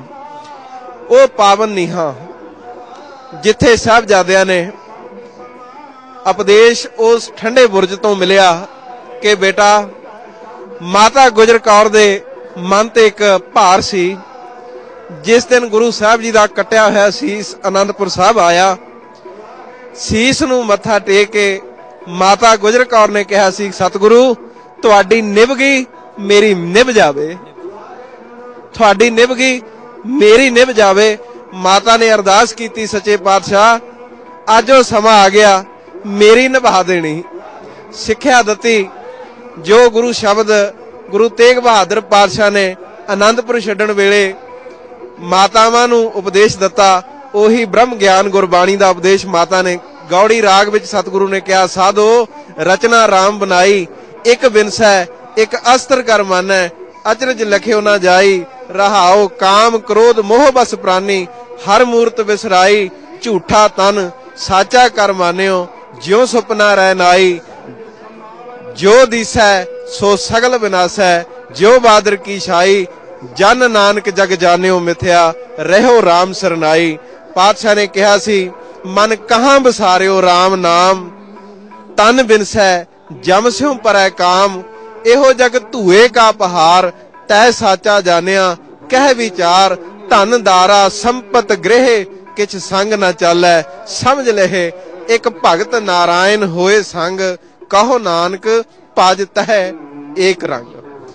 ਤੇ ਗੁਰੂ ਸਾਹਿਬ ਜੀ ਦਾ ਉਹ ਉਪਦੇਸ਼ ਸਾਹਿਬਜ਼ਾਦਿਆਂ ਨੂੰ ਮਾਤਾ ਨੇ ਸੁਣਾਇਆ, ਬਚਿਓ ਬਿਰਖੈ ਹੇਠ ਸਭ ਜੰਤ ਇਕੱਠੇ, ਇੱਕ ਤੱਤੇ, ਇੱਕ ਬੋਲਣ ਮਿੱਠੇ, ਅਸਤ ਅਦੋਤ ਭਇਆ ਉੱਠ ਚੱਲੇ, ਜਿਉਂ-ਜਿਉਂ ਔਦ ਬਹਾਣੀਆਂ। ਸਾਹਿਬਜ਼ਾਦਿਆਂ ਨੇ ਸਬੂਤ ਦਿੱਤਾ, ਲਾਲਚ ਦਿੱਤੇ, ਗੁਰੂ ਪਿਆਰਿਓ, ਮੈਂ ਸਾਰੀ ਗੱਲ ਕਰਨ ਦੇ ਵਿੱਚ ਉਸ ਸ਼ਖਸ ਨੂੰ ਨਹੀਂ ਭੁਲਾ ਸਕਦਾ। ਉਹਨੇ ਭਰੀ ਕਚਹਿਰੀ ਵਿੱਚ ਉੱਠ ਕੇ ਕਿਹਾ ਕਿ ਕਹਿਰ ਹੋ ਰਿਹਾ ਇਸ ਕਚਹਿਰੀ ਦੇ ਵਿੱਚ। ਗੁਰੂ ਗੋਬਿੰਦ ਸਿੰਘ ਸਾਹਿਬ ਦਾ ਉਹਨੇ ਕਿਹਾ, ਮੈਂ ਦੁਸ਼ਮਣ ਆ ਮੇਰੇ ਭਰਾ ਨੂੰ ਸਤਿਗੁਰੂ ਨੇ ਆਪ ਮਾਰਿਆ ਹੈ। ਪਰ ਕਦੇ ਇਹ ਨੀਚ ਕੰਮ ਨਾ ਕੀਤਾ ਜਾਏ। ਮੈਂ ਇਸ ਕਚਹਿਰੀ ਵਿੱਚ ਨਹੀਂ ਬੈਠਾਂਗਾ। ਅੱਗ ਲੱਗ ਜੇ ਇਸ ਕਚਹਿਰੀ ਨੂੰ। ਇਹ ਕਹਿ ਕੇ ਇਸ ਦਰਬਾਰ ਵਿੱਚੋਂ ਸ਼ੇਰ ਮੁਹੰਮਦ ਖਾਂ ਮਲੇਰਕੋਟਲੇ ਦਾ ਨਵਾਬ ਉਠਿਆ ਤੇ ਸਤਿਗੁਰੂ ਪਾਤਸ਼ਾਹ ਦੇ ਲਾਲਾ ਨੂੰ ਫਤਵਾ ਦਿੱਤਾ, ਨੀਹਾਂ ਵਿੱਚ ਚਿਣਨ ਦਾ। ਕਹਿੰਦੇ ਨੇ, ਇਤਿਹਾਸ ਦੇ ਇੱਕ ਮੇਰੇ ਪਿਤਾ ਮਹਾਪੁਰਸ਼ ਨੇ, ਮੇਰੇ ਉਸਤਾਦ ਨੇ ਮੈਨੂੰ ਅੱਜ ਇੱਕ ਅਲੌਕਿਕ ਘਟਨਾ ਦੱਸੀ ਕਿ ਜਦੋਂ ਸਜ਼ਾ ਨਿਯਤ ਕਰ ਦਿੱਤੀ ਤੇ ਸੂਬੇ ਨੇ ਸਾਹਮਣੇ ਨਿਗਾਹ ਵੇਖੀ ਕਿ ਕੋਈ ਉੱਠੇ ਸਜ਼ਾ ਦੇਣ ਵਾਸਤੇ ਸਭ ਨੇ ਗਰਦਨਾਂ ਝੁਕਾ ਲੀਆਂ ਇਸ ਕਚਹਿਰੀ ਦੇ ਵਿੱਚ। ਫਿਰ ਉਹਨੇ ਸੱਜੇ ਹੱਥ ਦੇਖਿਆ, ਉਧਰ ਵੀ ਗਰਦਨਾਂ ਝੁਕ ਗਈਆਂ। ਖੱਬੇ ਹੱਥ ਦੇਖਿਆ, ਉਧਰ ਵੀ ਗਰਦਨਾਂ ਝੁਕ ਗਈਆਂ। ਸਾਰੀ ਕਚਹਿਰੀ ਕਹਿ ਰਹੀ ਸੀ ਕਿ ਅਸੀਂ ਇਸ ਪਾਪ ਦੇ ਵਿੱਚ ਸ਼ਾਮਲ ਨਹੀਂ ਹੋ ਸਕਦੇ। ਵੱਡੇ ਤੋਂ ਵੱਡੇ ਜ਼ਾਲਮ ਬੈਠੇ ਸੀ। ਜਦੋਂ ਪਿੱਛੇ ਨੂੰ ਉਹਨੇ ਮੁੜ ਕੇ ਵੇਖਿਆ, ਉੱਥੇ ਸ਼ਾਸਲ ਵੇਗ ਤੇ ਬਾਸ਼ਲ ਵੇਗ ਖੜੇ ਸੀ, ਜਿਨ੍ਹਾਂ ਦਾ ਇਹ ਕਚਹਿਰੀ ਵਿੱਚ ਮੁਕੱਦਮਾ ਸੀ, ਜਿਹੜਾ ਉੱਪਰ ਦਰਬਾਰ ਜਿੱਥੇ ਕੀਰਤਨ ਹੋ ਰਿਹਾ ਹੈ, ਇਹ ਉਹ ਦਰਬਾਰ ਸੀ ਜਿੱਥੇ ਕਚਹਿਰੀ ਲੱਗਦੀ ਸੀ, ਇਹ ਫਤਿਹਗੜ੍ਹ ਸਾਹਿਬ ਦੀ ਧਰਤੀ ਤੇ। ਤੇ ਉਹਨਾਂ ਨੇ ਇਹ ਕਬੂਲ ਕੀਤਾ, ਪਰ ਬਾਬਾ ਫਤਿਹ ਸਿੰਘ ਸਾਹਿਬ, ਬਾਬਾ ਜੋਰਾਵਰ ਸਿੰਘ ਸਾਹਿਬ ਨੇ ਆਪਣੀ ਮਾਤਾ, ਸਤਕਾਰਯੋਗ ਮਾਤਾ ਗੁਜਰ ਕੌਰ, ਕਿਉਂਕਿ ਮਾਤਾ ਅਜੀਤ ਕੌਰ ਜੀ ਜਦੋਂ ਚੜ੍ਹਾਈ ਕਰ ਗਏ ਸੀ, ਕੇਵਲ 2 ਬਰਿਆਂ ਦੇ ਸੀ ਬਾਬਾ ਫਤਿਹ ਸਿੰਘ ਸਾਹਿਬ, ਮਾਂ ਦੇ ਰੂਪ ਵਿੱਚ ਇੱਕੋ ਵਾਰੀ ਕਿਹਾ ਸੀ ਜ਼ਿੰਦਗੀ ਵਿੱਚ, ਮਾਤਾ ਗੁਜਰ ਕੌਰ ਨੇ ਕਿ ਮੈਂ ਤੇਰੇ ਪਿਤਾ ਦੀ ਮਾਂ, ਪੁੱਛਿਆ ਮੇਰੀ ਮਾਂ ਕਿੱਥੇ ਹੈ? ਕਹਿੰਦੇ ਉਹ ਸੱਚਖੰਡ ਚਲੀ ਗਈ। ਤੇ ਬਾਬਾ ਫਤਿਹ ਸਿੰਘ ਸਾਹਿਬ ਕਹਿਣ ਲੱਗੇ, ਮੈਂ ਵੀ ਸੱਚਖੰਡ ਜਾਣਾ। ਮਾਂ ਗੁਜਰ ਕੌਰ ਕਹਿੰਦੀ, ਲਾਲ ਜੀ ਜਿੱਦਣ ਫਤਿਹ ਸਿੰਘ ਇਸ ਦੁਨੀਆ 'ਚ ਨਹੀਂ ਹੋਏਗਾ, ਗੁਜਰ ਕੌਰ ਇੱਕ ਪਲ ਵੀ ਇਸ ਸੰਸਾਰ ਵਿੱਚ ਰਹਿਣਾ ਪਸੰਦ ਨਹੀਂ ਕਰੇਗੀ। ਅੱਜ ਤੋਂ ਬਾਅਦ ਇਹ ਗੱਲ ਨਹੀਂ ਕਹਿਣੀ ਤੇ ਬਾਬਾ ਫਤਿਹ ਸਿੰਘ ਸਾਹਿਬ ਕਹਿਣ ਲੱਗੇ, ਮਾਤਾ, ਫਿਰ ਤੂੰ ਵੀ ਅੱਜ ਤੋਂ ਬਾਅਦ ਇਹ ਗੱਲ ਨਹੀਂ ਕਹਿਣੀ ਕਿ ਤੂੰ ਮੇਰੀ ਮਾਂ ਨਹੀਂ।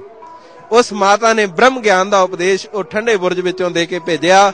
ਗੁਰੂ ਰੂਪ ਸਾਧ ਸੰਗਤ ਜੀ, ਅੱਜ ਅਸੀਂ ਆਪਣੇ ਬੱਚਿਆਂ ਨੂੰ ਉਪਦੇਸ਼ ਦਈਏ। ਅੱਜ ਮਾਵਾ ਉਪਦੇਸ਼ ਦੇਣ ਆਪਣੇ ਬੱਚਿਆਂ ਨੂੰ। ਦੱਸਣ ਕਿ ਗੁਰਮਤ ਕੀ ਹੈ, ਗੁਰਸਿੱਖੀ ਕੀ ਹੈ। ਸੋ ਜਿੱਥੇ ਨੀਹਾਂ ਦੇ ਵਿੱਚ ਸਹਿਬਜ਼ਾਦਿਆਂ ਨੂੰ ਚਿਣਿਆ ਗਿਆ।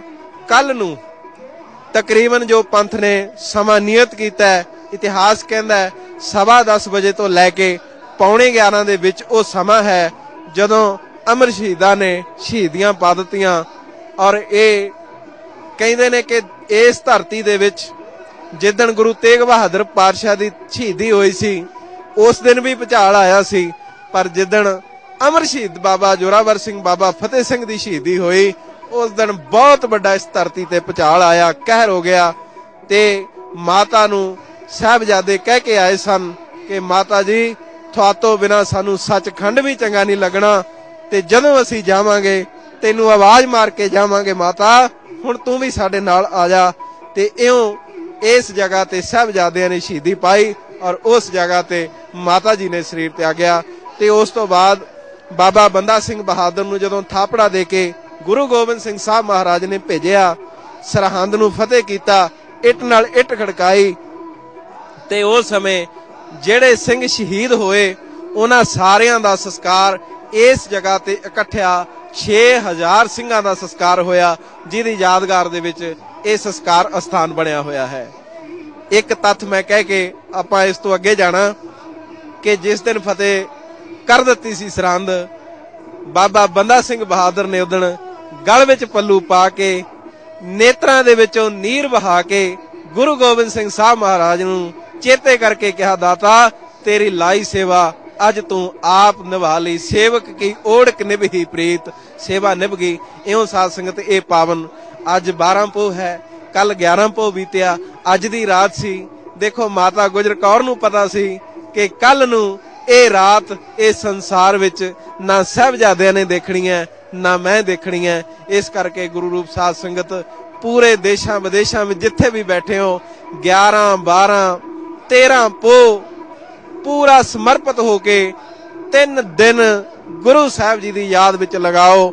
ਮੈਂ ਬਤੌਰ ਸ਼੍ਰੋਮਣੀ ਗੁਰਦੁਆਰਾ ਪ੍ਰਬੰਧਕ ਕਮੇਟੀ ਮੈਂਬਰ ਔਰ ਖਾਲਸਾ ਪੰਥ ਦਾ ਪ੍ਰਚਾਰਕ ਸੇਵਾਦਾਰ ਹੋਣ ਦੇ ਨਾਤੇ ਇਹ ਇਸ ਅਸਥਾਨ ਤੋਂ ਪਹਿਲਾਂ ਵੀ ਅਪੀਲ ਕੀਤੀ, ਹੁਣ ਵੀ ਕਰਦਾ ਕਿ 6 ਪੋਹ ਤੋਂ ਲੈ ਕੇ 13 ਪੋਹ ਤੱਕ ਸਾਧ ਸੰਗਤ ਸਾਡੇ ਘਰ ਵਿੱਚ ਕੋਈ ਮਠਿਆਈ ਨਾ ਬੜੇ, ਸਾਡੇ ਘਰ ਵਿੱਚ ਕੋਈ ਮਿੱਠਾ ਪਕਵਾਨ ਨਾ ਆਵੇ, ਸਾਡੇ ਘਰ ਵਿੱਚ ਕੋਈ ਖੁਸ਼ੀਆਂ ਦੇ ਸਮਾਗਮ ਨਾ ਹੋਣ, ਸਾਡੇ ਪਹਿਰਾਵੇ ਸਾਦੇ ਹੋਣ, ਬੀਬੀਆਂ ਕੋਈ ਹਾਰ ਸ਼ਿੰਗਾਰ ਨਾ ਕਰਨ ਤੇ ਭਾਵਨਾ ਗੁਰੂ ਗੋਬਿੰਦ ਸਿੰਘ ਸਾਹਿਬ ਮਹਾਰਾਜ ਤੇ ਸਤਿਗੁਰੂ ਨੇ 6 ਪੋਹ ਤੋਂ ਲੈ ਕੇ 13 ਪੋਹ ਤੱਕ ਬਹੁਤ ਵੱਡਾ ਇਤਿਹਾਸ ਸਿਰਜਿਆ ਉਹਨੂੰ ਯਾਦ ਕਰੀਏ, ਜਿਹੜਾ ਸਿੱਖ ਇਹਨਾਂ ਦਿਨਾਂ ਵਿੱਚ ਪੂਰਾ ਗੁਰੂ ਗ੍ਰੰਥ ਸਾਹਿਬ ਮਹਾਰਾਜ ਦੇ ਸ਼ਬਦਾਂ ਦੀ ਟੇਕ ਲੈ ਕੇ ਸਤਿਗੁਰੂ ਨਾਲ ਜੁੜੂਗਾ, ਦਾਸ ਵਿਸ਼ਵਾਸ ਕਰਦਾ ਹੈ ਕਿ ਉਹਨੂੰ ਸਤਿਗੁਰੂ ਗੁਰੂ ਕਲਗੀਧਰ ਪਾਤਸ਼ਾਹ ਦੀਆਂ ਅਥਾਹ ਖੁਸ਼ੀਆਂ ਪ੍ਰਾਪਤ ਹੋਣਗੀਆਂ। ਜਿਵੇਂ ਕਿ ਭਾਈ ਸਾਹਿਬ ਉਹਨਾਂ ਨੇ ਦੱਸਿਆ ਕਿ ਕੱਲ 11 ਪੋਹ ਦੀ ਰਾਤ ਬੀਤੀ ਹੈ, ਅੱਜ 12 ਪੋਹ ਦੀ ਰਾਤ। ਔਰ ਮੈਂ ਇੱਥੇ ਸਾਡੀ ਸਮੁੱਚੀ ਵਿਸ਼ਵ ਦੀ ਸਿੱਖ ਸੰਗਤ ਨੂੰ ਦੱਸ ਦੇਣਾ ਚਾਹੁੰਦਾ ਕਿ ਜੋ ਠੰਡ ਹੈ, ਇੱਥੇ ਕਹਿਰ ਬਰਪਾ ਰਹੀ ਹੈ। ਤੇ ਆਓ ਇਤਿਹਾਸ ਵੱਲ ਝਾਤੀ ਮਾਰੀਏ ਕਿ ਜਿਸ ਵੇਲੇ ਮਾਤਾ ਗੁਜਰ ਕੌਰ ਜੀ ਛੋਟੇ ਬੱਚਿਆਂ ਨੂੰ ਲੈ ਕੇ ਠੰਡੇ ਬੁਰਜ ਦੇ ਵਿੱਚ ਬੈਠੇ ਹੋਣਗੇ, ਉਸ ਵੇਲੇ ਦਾ ਸਮਾਂ ਕਿਸ ਤਰ੍ਹਾਂ ਦਾ ਹੋਵੇਗਾ? ਔਰ ਜਿਵੇਂ ਕਿ ਭਾਈ ਸਾਹਿਬ ਉਹਨਾਂ ਨੇ ਦੱਸਿਆ ਕਿ ਕੱਲ 13 ਪੋਹ ਦਾ ਦਿਨ ਹੈ ਜਦੋਂ ਕਿ ਛੋਟੇ ਸਾਹਿਬਜ਼ਾਦਿਆਂ ਨੂੰ ਅ, ਨੀਹਾਂ ਦੇ ਵਿੱਚ ਚਿਣਵਾ ਦਿੱਤਾ ਗਿਆ ਹੈ। ਸਮੇਂ ਜੋ ਇਤਿਹਾਸਕਾਰਾਂ ਦੇ ਮੁਤਾਬਿਕ ਹੈ ਸਵਾ 10 ਤੋਂ ਪੌਣੇ 11 ਦੇ ਵਿੱਚ ਜੋ ਸੀਗਾ ਜਿਸ ਵੇਲੇ ਕਿ ਬੱਚਿਆਂ ਨੂੰ ਸ਼ਹੀਦ ਕਰ ਦਿੱਤਾ ਗਿਆ ਨੀਹਾਂ ਦੇ ਵਿੱਚ ਚਿਣਵਾ ਦਿੱਤਾ ਗਿਆ। ਔਰ ਜਿਵੇਂ ਕਿ ਭਾਈ ਸਾਹਿਬ ਉਹਨਾਂ ਨੇ ਦੱਸਿਆ ਕਿ ਠੀਕ ਮੇਰੇ ਸੱਜੇ ਪਾਸੇ ਉਹ ਸਥਾਨ ਹੈ ਜਿੱਥੇ ਕਿ ਜਦੋਂ ਬਾਬਾ ਬੰਦਾ ਸਿੰਘ ਬਹਾਦਰ ਨੇ ਸਰਹੰਦ ਫਤਿਹ ਕੀਤੀ ਤੇ ਉਸ ਵਿੱਚ 6000 ਸਿੱਖ ਜੋ ਸ਼ਹੀਦ ਹੋਏ ਸਨ ਉਹਨਾਂ ਦਾ ਇਕੱਠਾ ਸੰਸਕਾਰ ਜੋ ਹੈ ਉਹ ਇਸ ਪਾਵਨ ਪਵਿੱਤਰ ਸਥਾਨ ਦੇ ਉੱਪਰ ਕੀਤਾ ਗਿਆ ਆਓ ਬੜੇ ਬੜਪਾਗੀ ਹਾਂ ਜੋ ਇਸ ਸਥਾਨ ਦੇ ਵੀ ਅਸੀਂ ਦਰਸ਼ਨ ਕਰ ਰਹੇ ਹਾਂ ਸੋ ਫਤਿਹ ਬੁਲਾਈਏ ਵਾਹਿਗੁਰੂ ਜੀ ਕਾ ਖਾਲਸਾ ਵਾਹਿਗੁਰੂ ਜੀ ਕੀ ਫਤਿਹ ਇਸ ਦਾਨ ਗੁਰੂ ਦਾ ਸਰੂਪ ਜਿਹੜਾ ਸਾਨੂੰ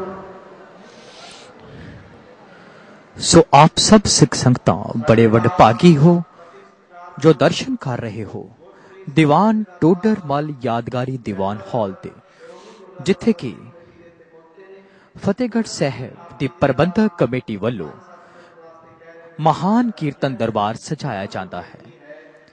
ਜਿਤਨੀਆਂ ਵੀ ਸੰਗਤਾਂ ਇਸ ਸ਼ਹੀਦੀ ਜੋੜ ਮੇਲੇ ਦੇ ਵਿੱਚ ਪਹੁੰਚਦੀਆਂ ਹਨ, ਉਹ ਇੱਥੇ ਆ ਕੇ ਕੀਰਤਨ ਸਰਵਣ ਕਰਦੀਆਂ ਹਨ। ਪਾਵਨ ਦਰਬਾਰ ਦੇ ਅੰਦਰ ਸਜ ਬੈਠੇ ਗੁਰੂ ਸਵਰੂਪ ਗੁਰੂ ਰੂਪ, ਗੁਰੂ ਖਾਲਸਾ ਸਾਧ ਸੰਗਤ ਜੀ। ਧੰਨ ਧੰਨ ਬਾਬਾ ਜੋਰਾਵਰ ਸਿੰਘ ਸਾਹਿਬ, ਧੰਨ ਧੰਨ ਬਾਬਾ ਫਤਿਹ ਸਿੰਘ ਸਾਹਿਬ ਜੀ ਪੂਜਨੀਕ ਜਗਤ ਮਾਤਾ ਮਾਤਾ ਗੁਜਰ ਕੌਰ ਜੀ ਦੇ ਪਾਵਨ ਉਹਨਾਂ ਮਹਾਨ ਸ਼ਹੀਦੀ ਦਿਹਾੜਿਆਂ ਨੂੰ ਮਨਾ ਰਹੇ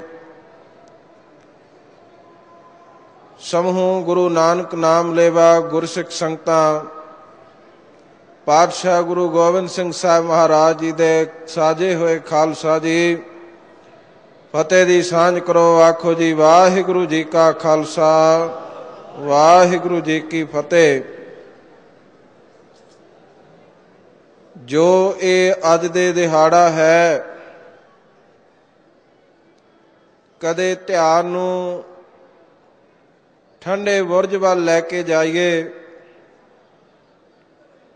ਕਿ ਕਿਸ ਅਵਸਥਾ ਦੇ ਵਿੱਚ ਮਾਤਾ ਗੁਜਰ ਕੌਰ ਜੀ ਇਸ ਵਕਤ ਆਪਣੇ ਲਾਲਾ ਨੂੰ ਬ੍ਰਹਮ ਗਿਆਨ ਦਾ ਉਹ ਪਾਵਨ ਉਪਦੇਸ਼ ਦ੍ਰਿੜ ਕਰਵਾ ਰਹੇ ਸਨ, ਕਿਉਂਕਿ ਮਾਤਾ ਗੁਜਰ ਕੌਰ ਜੀ ਨੂੰ ਇਸ ਗੱਲ ਦਾ ਅਹਿਸਾਸ ਸੀ ਕਿ ਪਹਿਲੇ ਦਿਨ ਗਏ ਸਹਿਬਜ਼ਾਦੇ ਵਾਪਸ ਆ ਗਏ, ਦੂਜੇ ਦਿਨ ਗਏ, ਵਾਪਸ ਆ ਗਏ। ਪਰ ਕੱਲ ਨੂੰ ਗਏ ਹੋਏ ਸਹਿਬਜ਼ਾਦੇ ਵਾਪਸ ਮੁੜ ਕੇ ਠੰਡੇ ਬੁਰਜ ਦੇ ਵਿੱਚ ਨਹੀਂ ਆਉਣਗੇ।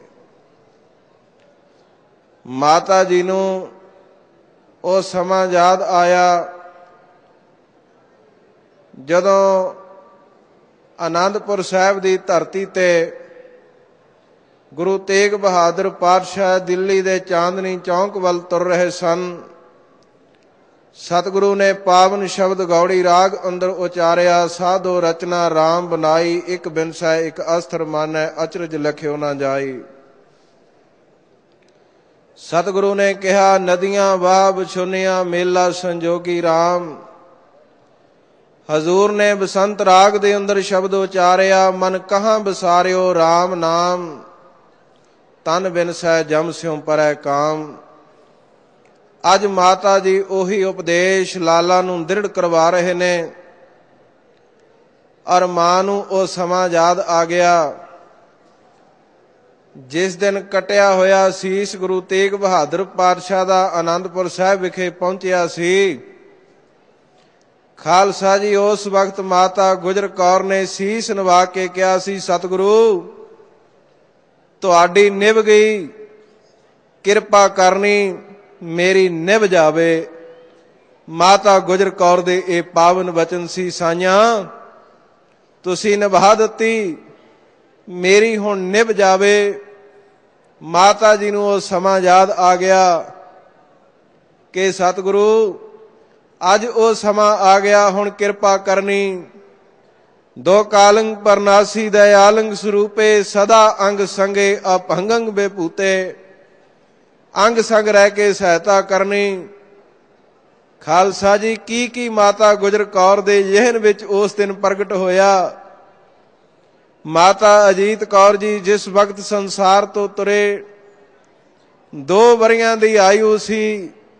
ਬਾਬਾ ਫਤਿਹ ਸਿੰਘ ਸਾਹਿਬ ਦੀ ਤੇ ਮਾਤਾ ਜੀ ਸੋਚਦੇ ਨੇ ਮੇਰੀ ਧੀ ਜਿਸ ਨੂੰ ਕਦੇ ਮੈਂ ਨੂੰ ਨਹੀਂ ਸਮਝਿਆ, ਅਜੀਤ ਕੌਰ, ਜਿਹੜੀ ਡਿਊਟੀ ਤੂੰ ਮੇਰੀ ਲਾ ਕੇ ਗਈ ਸੀ, ਉਹ ਹੁਣ ਮੇ ਤੋਂ ਹੋਰ ਨਿਭਾ ਨਹੀਂ ਹੋਣੀ। ਸੋਚਦੀ ਸਾਂ ਕਿ ਕਦੇ ਫਤਿਹ ਸਿੰਘ ਸਾਹਿਬ ਨੂੰ ਕਿਤੇ ਵਿਆਹਣ ਵਾਸਤੇ ਘੋੜੀ ਤੇ ਚਾੜਾਂ ਗਈ, ਪਰ ਮੇਰੇ ਪੁੱਤਰ ਨੂੰ ਕੁਝ ਹੋਰ ਮਨਜ਼ੂਰ ਹੈ। ਸਾਧ ਸੰਗਤ, ਇੱਕ ਗੱਲ ਮਾਤਾ ਗੁਜਰ ਕੌਰ ਨੇ ਕਹੀ ਸੀ, ਮੈਂ ਉਹ ਗੱਲ ਕਹਿ ਕੇ ਸਮਾਂ ਸਮਾਪਤ ਕਰਦਾ। ਜਿਸ ਵਕਤ 13 ਪੋ ਨੂੰ ਮਾਤਾ ਗੁਜਰ ਕੌਰ ਨੇ ਸਹਬਜ਼ਾਦਿਆਂ ਨੂੰ ਕੁਰਬਾਨੀ ਵਾਸਤੇ ਤੋਰਿਆ, ਮਾਤਾ ਜੀ ਕਹਿਣ ਲੱਗੇ, ਬੇਟਾ, ਜ਼ਿੰਦਗੀ ਦੇ ਅੰਦਰ ਮੈਂ ਆਪਣੇ ਪੁੱਤਰ ਨੂੰ ਕਿਤਨਾ ਕੁ ਪ੍ਰੇਮ ਕੀਤਾ ਹੈ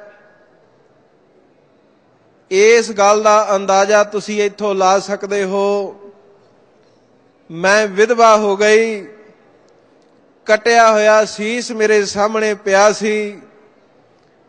ਉਸ ਕਟੇ ਹੋਏ ਪਤੀ ਦੇ ਸੀਸ ਵਿੱਚੋਂ ਮੈਂ ਆਪਣੇ ਪੁੱਤਰ ਦੀ ਖੁਸ਼ੀ ਵੇਖੀ ਸੀ, ਮੈਂ ਆਪਣਾ ਦੁੱਖ ਨਹੀਂ ਸੀ ਵੇਖਿਆ। ਆਪਣੇ ਦੁੱਖ ਨੂੰ ਮੈਂ ਪੁੱਤਰ ਦੀ ਖੁਸ਼ੀ ਦੇ ਵਿੱਚ ਸਮਿਲਿਤ ਕਰ ਦਿੱਤਾ। ਸਤਿਗੁਰੂ ਕਹਿਣ ਲੱਗੇ, ਗੁਰੂ ਤੇਗ ਬਹਾਦਰ ਪਾਤਸ਼ਾਹ ਨੇ ਮੈਨੂੰ ਵਚਨ ਕੀਤੇ, ਮਹਾਬਲੀ ਤੇਰਾ ਪੁੱਤਰ ਹੈ। ਤੇ ਕਹਿਣ ਲੱਗੇ, ਬੇਟਾ, ਗੁਜਰ ਕੌਰ ਦੇ ਵਿੱਚ ਇਤਨਾ ਕੁ ਹਿਰਦਾ ਹੈ, ਜੇ ਆਪਣੇ ਪਤੀ ਦਾ ਕਟਿਆ ਹੋਇਆ ਸੀਸ ਵੇਖ ਸਕਦੀ ਹੈ ਰੱਬ ਨਾ ਕਰੇ ਕੋ ਅਕਾਲ ਪੁਰਖ ਨੇ ਐਸਾ ਭਾਣਾ ਵਰਤਾ ਦਿੱਤਾ। ਮੈਨੂੰ ਮੇਰੇ ਆਪਣੇ ਪੁੱਤਰ ਦਾ ਸੀਸ ਵੀ ਉਸ ਅਵਸਥਾ ਵਿੱਚ ਦੇਖਣਾ ਪਿਆ। ਮਾਤਾ ਗੁਜਰ ਕੌਰ ਕਹਿੰਦੇ, ਮੈਂ ਸਹਿ ਲਵਾਂਗੀ। ਪਰ ਲਾਲ ਜੀ, ਜਿਹੜੀ ਗੱਲ ਮੈਂ ਕਹਿਣ ਲੱਗੀ ਹਾਂ, ਉਹਦੇ ਤੇ ਧਿਆਨ ਦੇਣਾ। ਮੈਂ ਆਪਣੇ ਪੁੱਤਰ ਦਾ ਕਟਿਆ ਹੋਇਆ ਸੀਸ ਤਾਂ ਵੇਖ ਸਕਦੀ ਹਾਂ। ਪਰ ਮੈਂ ਕਦੇ ਉਹਦਾ ਝੁਕਿਆ ਹੋਇਆ ਸੀਸ ਨਹੀਂ ਵੇਖ ਸਕਦੀ।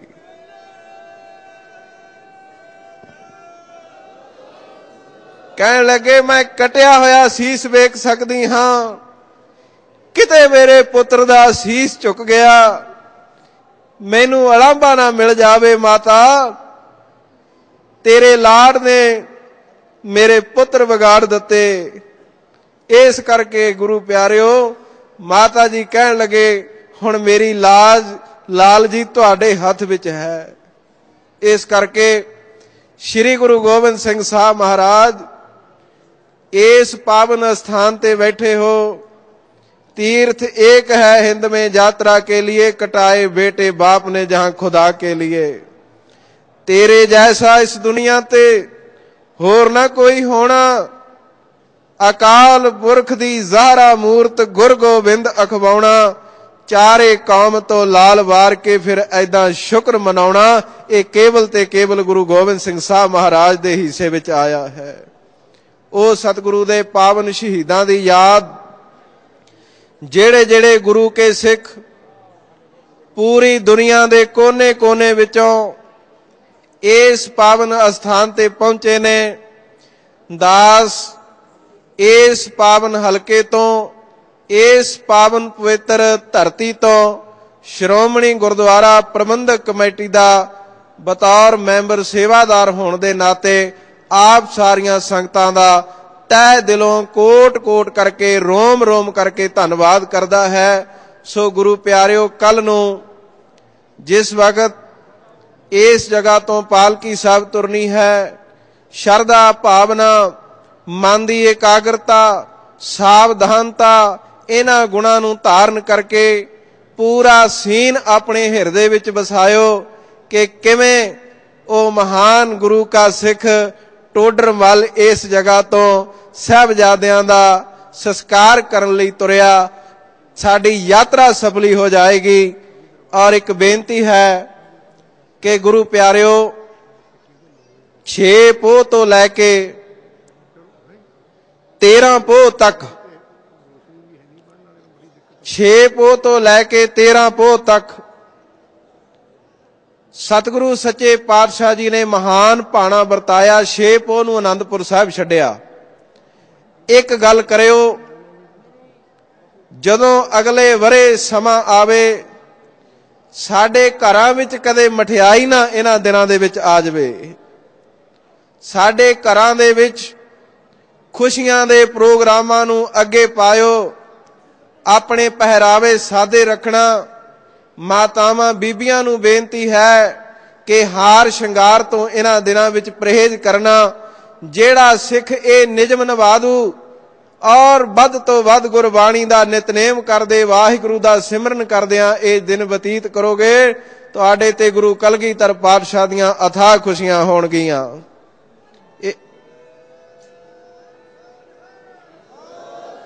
ਸ਼੍ਰੀ ਗੁਰੂ ਗੋਬਿੰਦ ਸਿੰਘ ਸਾਹਿਬ ਮਹਾਰਾਜ ਦੀਆਂ ਖੁਸ਼ੀਆਂ ਲੈਣ ਵਾਸਤੇ ਆਪ ਸਾਰੀਆਂ ਸੰਗਤਾਂ ਨੂੰ ਨਿਮਰਤਾ ਸਹਿਤ ਬੇਨਤੀ ਹੈ, ਸਾਡੇ ਘਰ ਵਿੱਚ ਕੋਈ ਬਜ਼ੁਰਗ ਵੀ ਚਲਾ ਜਾਵੇ, ਤਾਂ ਵੀ ਦੇਖੋ ਸਾਡੀ ਕੀ ਅਵਸਥਾ ਹੋ ਜਾਂਦੀ ਹੈ ਤੇ ਵੇਖੋ ਕਿ ਜ਼ੁਲਮ ਦੀ ਇੰਤਹਾ ਹੋ ਗਈ, ਜ਼ੁਲਮ ਦਾ ਅੰਤ ਹੋ ਗਿਆ, ਦੁਨੀਆ ਦੇ ਇਤਿਹਾਸ ਵਿੱਚ ਐਸਾ ਜ਼ੁਲਮ ਨਹੀਂ। ਸੋ ਸਾਧ ਸੰਗਤ ਆਪਣੇ ਬੱਚਿਆਂ ਨੂੰ, ਆਉਣ ਵਾਲੀ ਪਨੀਰੀ ਨੂੰ ਸਾਂਭਣ ਲਈ ਮਾਤਾ ਗੁਜਰ ਕੌਰ ਦੇ ਪਾਵਨ ਉਪਦੇਸ਼ ਆਪਣੇ ਬੱਚਿਆਂ ਨੂੰ ਸਰਵਣ ਕਰਾਓ, ਤਾਂ ਕਿ ਅਸੀਂ ਗੁਰਸਿੱਖੀ ਦੇ ਮਾਰਗ ਤੇ ਚੱਲ ਸਕੀਏ। ਆਇਆ ਸਫਲਤਾਹੂ ਕੋ ਗਨੀਐ, ਜਾਸ ਰਸਨ ਹਰ ਹਰ ਜਸ ਭਨੀਐ। ਸਤਿਗੁਰ ਪਾਤਸ਼ਾਹ ਕਿਰਪਾ ਕਰਨ। ਸੋ ਦਾਸ, ਅਖੀਰ ਦੇ ਵਿੱਚ ਕੋਟਾਨ ਕੋਟ ਧੰਨਵਾਦ। ਸਾਹਿਬ ਸ੍ਰੀ ਗੁਰੂ ਗ੍ਰੰਥ ਸਾਹਿਬ ਮਹਾਰਾਜ ਜੀ ਦਾ।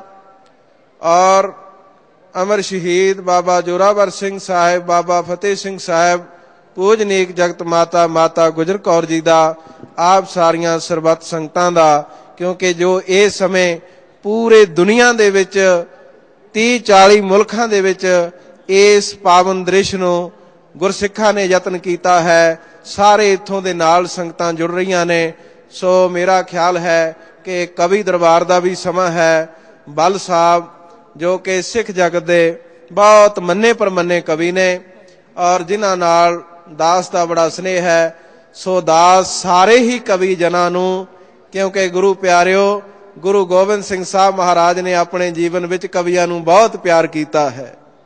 52 ਕਵੀ ਆਪਣੇ ਦਰਬਾਰ ਵਿੱਚ ਰੱਖਦੇ ਸੀ, ਲੱਖਾਂ ਰੁਪਈਆ ਇੱਕ ਇੱਕ ਕਵਿਤਾ ਦਾ ਸਤਿਗੁਰੂ ਖੁਸ਼ੀ ਵਿੱਚ ਇਨਾਮ ਦੇ ਦਿੰਦੇ ਸਨ, ਸੋ ਸਾਰੀਆਂ ਕਵੀ ਜਨਾਂ ਦਾ ਇਸ ਅਸਥਾਨ ਤੇ ਪਹੁੰਚਣ ਤੇ ਕੋਟਾਨ ਕੋਟ ਧੰਨਵਾਦ, ਸਤਿਗੁਰੂ ਜੀ ਕਿਰਪਾ ਕਰਨ ਬੁਲਾਓ ਫਤਿਹ ਜੀ, ਵਾਹਿਗੁਰੂ ਜੀ ਕਾ ਖਾਲਸਾ, ਵਾਹਿਗੁਰੂ ਜੀ ਕੀ ਫਤਿਹ।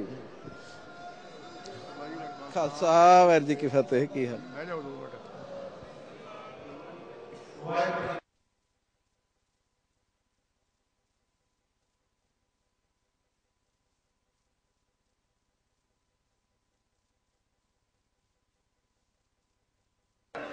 ਤੇ ਮਹਾਰਾਜੀ ਦੇ ਖੰਡੇ ਵਾਕੇ ਦੇ ਨੰਬਰ ਦੀ ਯਾਦ ਰੱਖੀ ਸੋ ਇਸ ਵਕਤ ਜਿਸ ਥਾਂ ਦੇ ਉੱਪਰ ਅਸੀਂ ਖੜੋਤੇ ਹਾਂ, ਇਹ ਹੈ ਗੁਰਦੁਆਰਾ ਵਿਭਾਨਗੜ ਮੈਂ ਦੱਸ ਦੇਵਾਂ, ਇਤਿਹਾਸ ਦੇ ਅਨੁਸਾਰ ਜਿਸ ਵੇਲੇ ਛੋਟੇ ਸਾਹਿਬਜ਼ਾਦਿਆਂ ਦੀ ਸ਼ਹੀਦੀ ਹੋ ਗਈ, ਤਾਂ ਦੀਵਾਨ ਟੋਡਰਮਲ ਨੇ ਆ ਕਰਕੇ ਮਾਤਾ ਗੁਜਰ ਕੌਰ ਜੀ ਨੂੰ ਜਦ ਇਹ ਸੰਦੇਸ਼ ਦਿੱਤਾ, ਤਾਂ ਮਾਤਾ ਗੁਜਰ ਕੌਰ ਜੀ ਨੇ ਇਹ ਸੰਦੇਸ਼ ਸੁਣ ਕੇ ਆਪਣੀ ਵੀ ਸ਼ਹੀਦੀ ਦੇ ਦਿੱਤੀ। ਤਾਂ ਜ਼ਾਲਮਾਂ ਨੇ ਮਾਤਾ ਜੀ ਅਤੇ ਦੋਨਾਂ ਛੋਟੇ ਬੱਚਿਆਂ ਦੇ ਸਰੀਰ ਇੱਥੇ ਵਗਦੀ ਹੰਸਲਾ ਨਦੀ ਦੇ ਜੰਗਲ ਦੇ ਵਿੱਚ ਸੁੱਟ ਦਿੱਤੇ। ਤਾਂ ਜੋ ਇਸ ਜੰਗਲ ਦੇ ਵਿੱਚ ਆਦਮਖੋਰ ਜਾਨਵਰ ਉਹਨਾਂ ਦੇ ਸਰੀਰ ਨੂੰ ਨੋਚ-ਨੋਚ ਕੇ ਖਾ ਜਾਣ। ਪਰ ਇਤਿਹਾਸ ਦੇ ਅਨੁਸਾਰ ਇੱਕ ਬੱਬਰ ਸ਼ੇਰ ਨੇ 48 ਘੰਟੇ ਉਹਨਾਂ ਸ਼ਰੀਰਾਂ ਦੀ ਰੱਖਿਆ ਕੀਤੀ। ਉਸ ਤੋਂ ਬਾਅਦ ਦੀਵਾਨ ਟੋਡਰਮਲ ਅਤੇ ਉਹਨਾਂ ਦੀ ਧਰਮ ਸੁਪਤਨੀ ਨੇ ਆ ਕਰਕੇ ਉਹਨਾਂ ਸ਼ਰੀਰਾਂ ਦੀ ਸੰਭਾਲ ਕੀਤੀ। ਤੇ ਆਓ ਕਰਦੇ ਹਾਂ ਦਰਸ਼ਨ ਗੁਰਦੁਆਰਾ ਵਿਭਾਨਗੜ ਸਾਹਿਬ ਦੇ ਚਲਿਏ।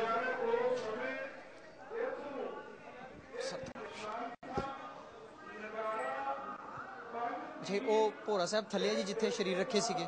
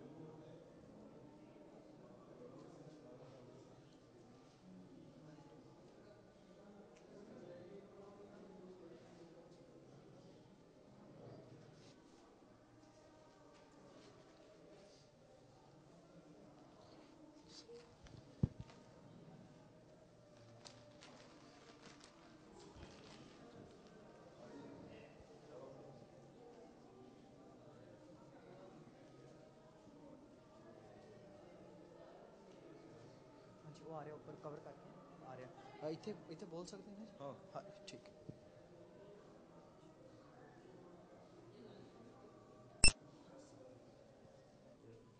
ਹਾਂਜੀ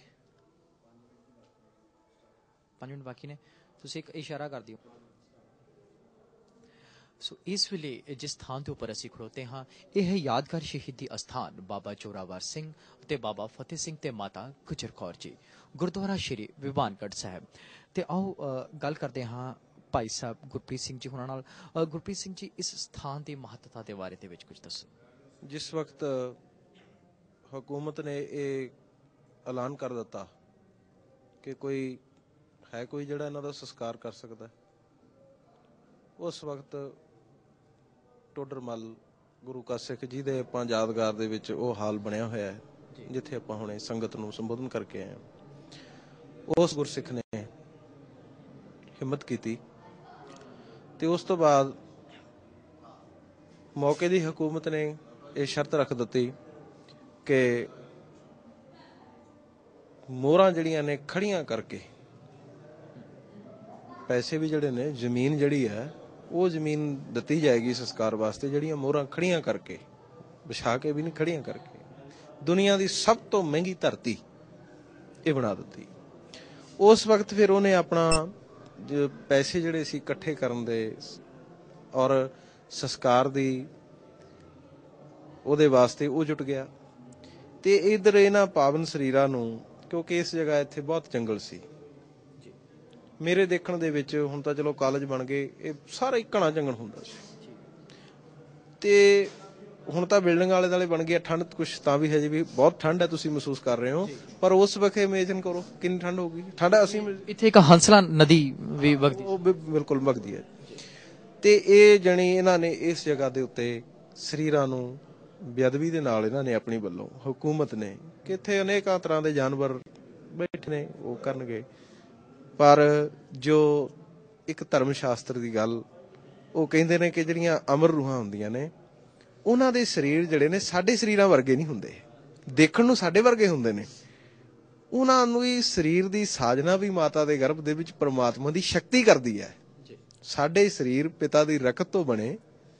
ਉਹਨਾਂ ਦੇ ਸਰੀਰ ਜਿਹੜੇ ਨੇ ਉਹਨਾਂ ਨੂੰ ਪ੍ਰਮਾਤਮਾ ਦੀ ਜਿਹੜੀ ਮਾਇਆਵੀ ਸ਼ਕਤੀ ਹੈ ਉਹ ਤਿਆਰ ਕਰਦੀ ਹੈ। ਇਸ ਕਰਕੇ ਉਹ ਸਰੀਰ ਵੀ ਮਿਥਿਆ ਨਹੀਂ ਸੀ। ਉਹ ਸਰੀਰ ਵੀ ਇੱਕ ਪਾਕ ਪਵਿੱਤਰ ਸੀ। ਉਸ ਵਕਤ ਫਿਰ ਇੱਥੇ ਇੱਕ ਸ਼ੇਰ ਨੇ ਆ ਕੇ ਬੱਬਰ ਸ਼ੇਰ ਨੇ। ਉਹ ਸਰੀਰਾਂ ਦੇ ਕੋਲ ਬੈਠ ਗਿਆ।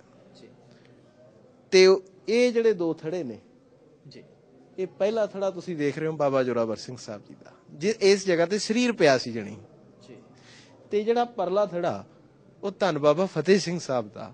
ਤੇ ਇਹ ਜਿਹੜਾ ਇਸ ਪਾਸੇ ਸੰਗਤ ਜਿੱਥੇ ਖੜੀ ਹੈ ਪਿੱਛੇ ਤੁਸੀਂ ਸੰਗਤ ਤੇ ਉਹ ਜਿਹੜਾ ਥੜਾ ਦੇਖ ਰਹੇ ਹੋ ਉਹ ਥੜਾ ਮਾਤਾ ਗੁਜਰ ਕੌਰ ਦਾ। ਇਹ ਇੱਕ ਮਤਲਬ ਪੈਮਾਨਾ ਵੀ ਮਾਤਾ ਜੀ ਦਾ ਸਰੀਰ ਉੱਥੇ ਸੀ ਤੇ ਸਾਹਿਬਜ਼ਾਦੇ ਦੇ ਸਰੀਰ ਜਿਹੜੇ ਸੀ ਉਹ ਇਸ ਇਸ ਜਗ੍ਹਾ ਤੇ ਪਏ ਸੀ। ਜੀ।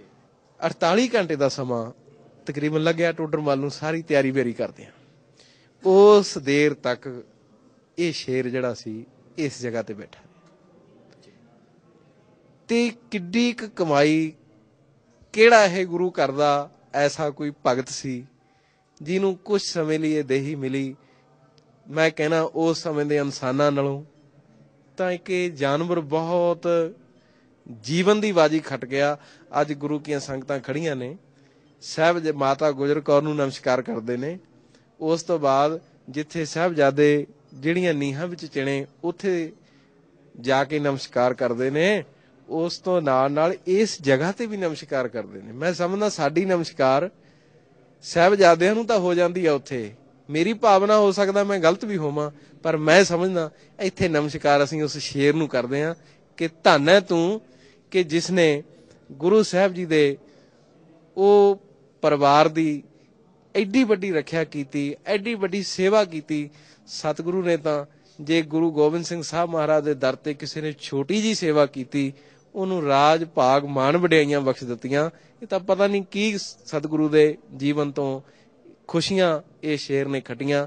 ਸੋ ਇਹ ਸਥਾਨ ਜਿਹੜਾ ਹੈ ਇਹ ਨਿਹੰਗ ਸਿੰਘ ਦਲ ਬਾਬਾ ਬੁੱਢਾ ਤੇ ਮਹਾਪੁਰਖ ਸੱਚਖੰਡ ਵਾਸੀ ਸੰਤ ਬਾਬਾ ਸੰਤਾ ਸਿੰਘ ਜੀ ਉਹਨਾਂ ਦੇ ਕੋਲ ਇਹ ਨਿਹੰਗਾ ਸਿੰਘਾਂ ਨੇ ਸਾਰੀ ਬਿਲਡਿੰਗ ਦੀ ਸੇਵਾ ਕੀਤੀ ਹੈ ਕਿਉਂਕਿ ਇਹਦੇ ਵਿੱਚ ਸ਼੍ਰੋਮਣੀ ਕਮੇਟੀ ਦਾ ਨਹੀਂ ਕੋਈ ਇਸ ਤਰ੍ਹਾਂ ਹੈਗਾ।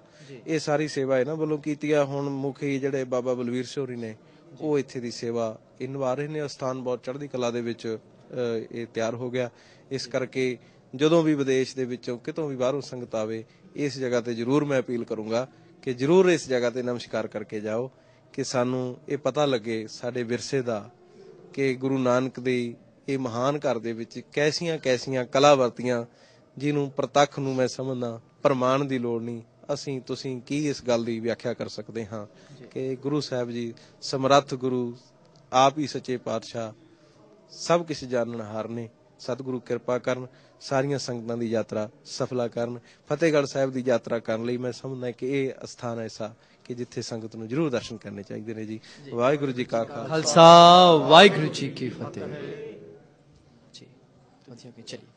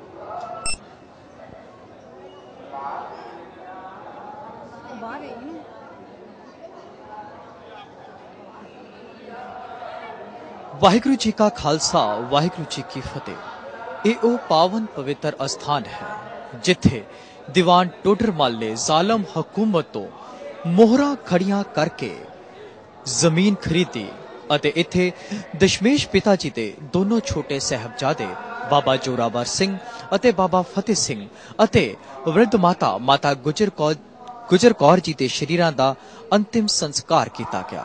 ਤੇ ਆਓ ਦਰਸ਼ਨ ਕਰਦੇ ਹਾਂ ਇਸ ਪਾਵਨ ਪਵਿੱਤਰ ਅਸਥਾਨ ਗੁਰਦੁਆਰਾ ਸ਼੍ਰੀ ਜੋਤੀ ਸਰੂਪ ਦੇ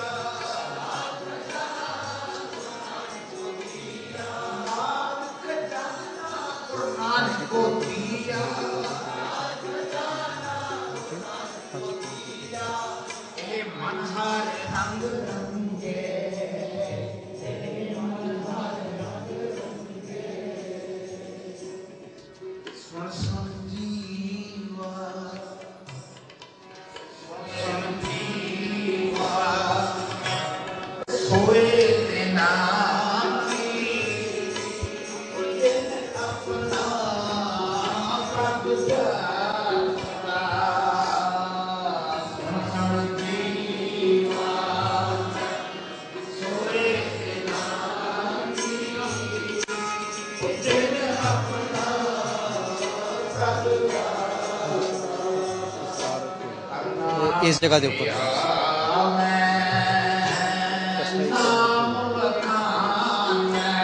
ਇੱਕੋ ਦੇ ਉੱਪਰ ਰੱਖ ਕੇ ਸੰਸਕਾਰ ਕੀਤਾ ਜਾ ਵਾਰੋ ਵਾਰੀ ਇੱਕੋ ਜਗ੍ਹਾ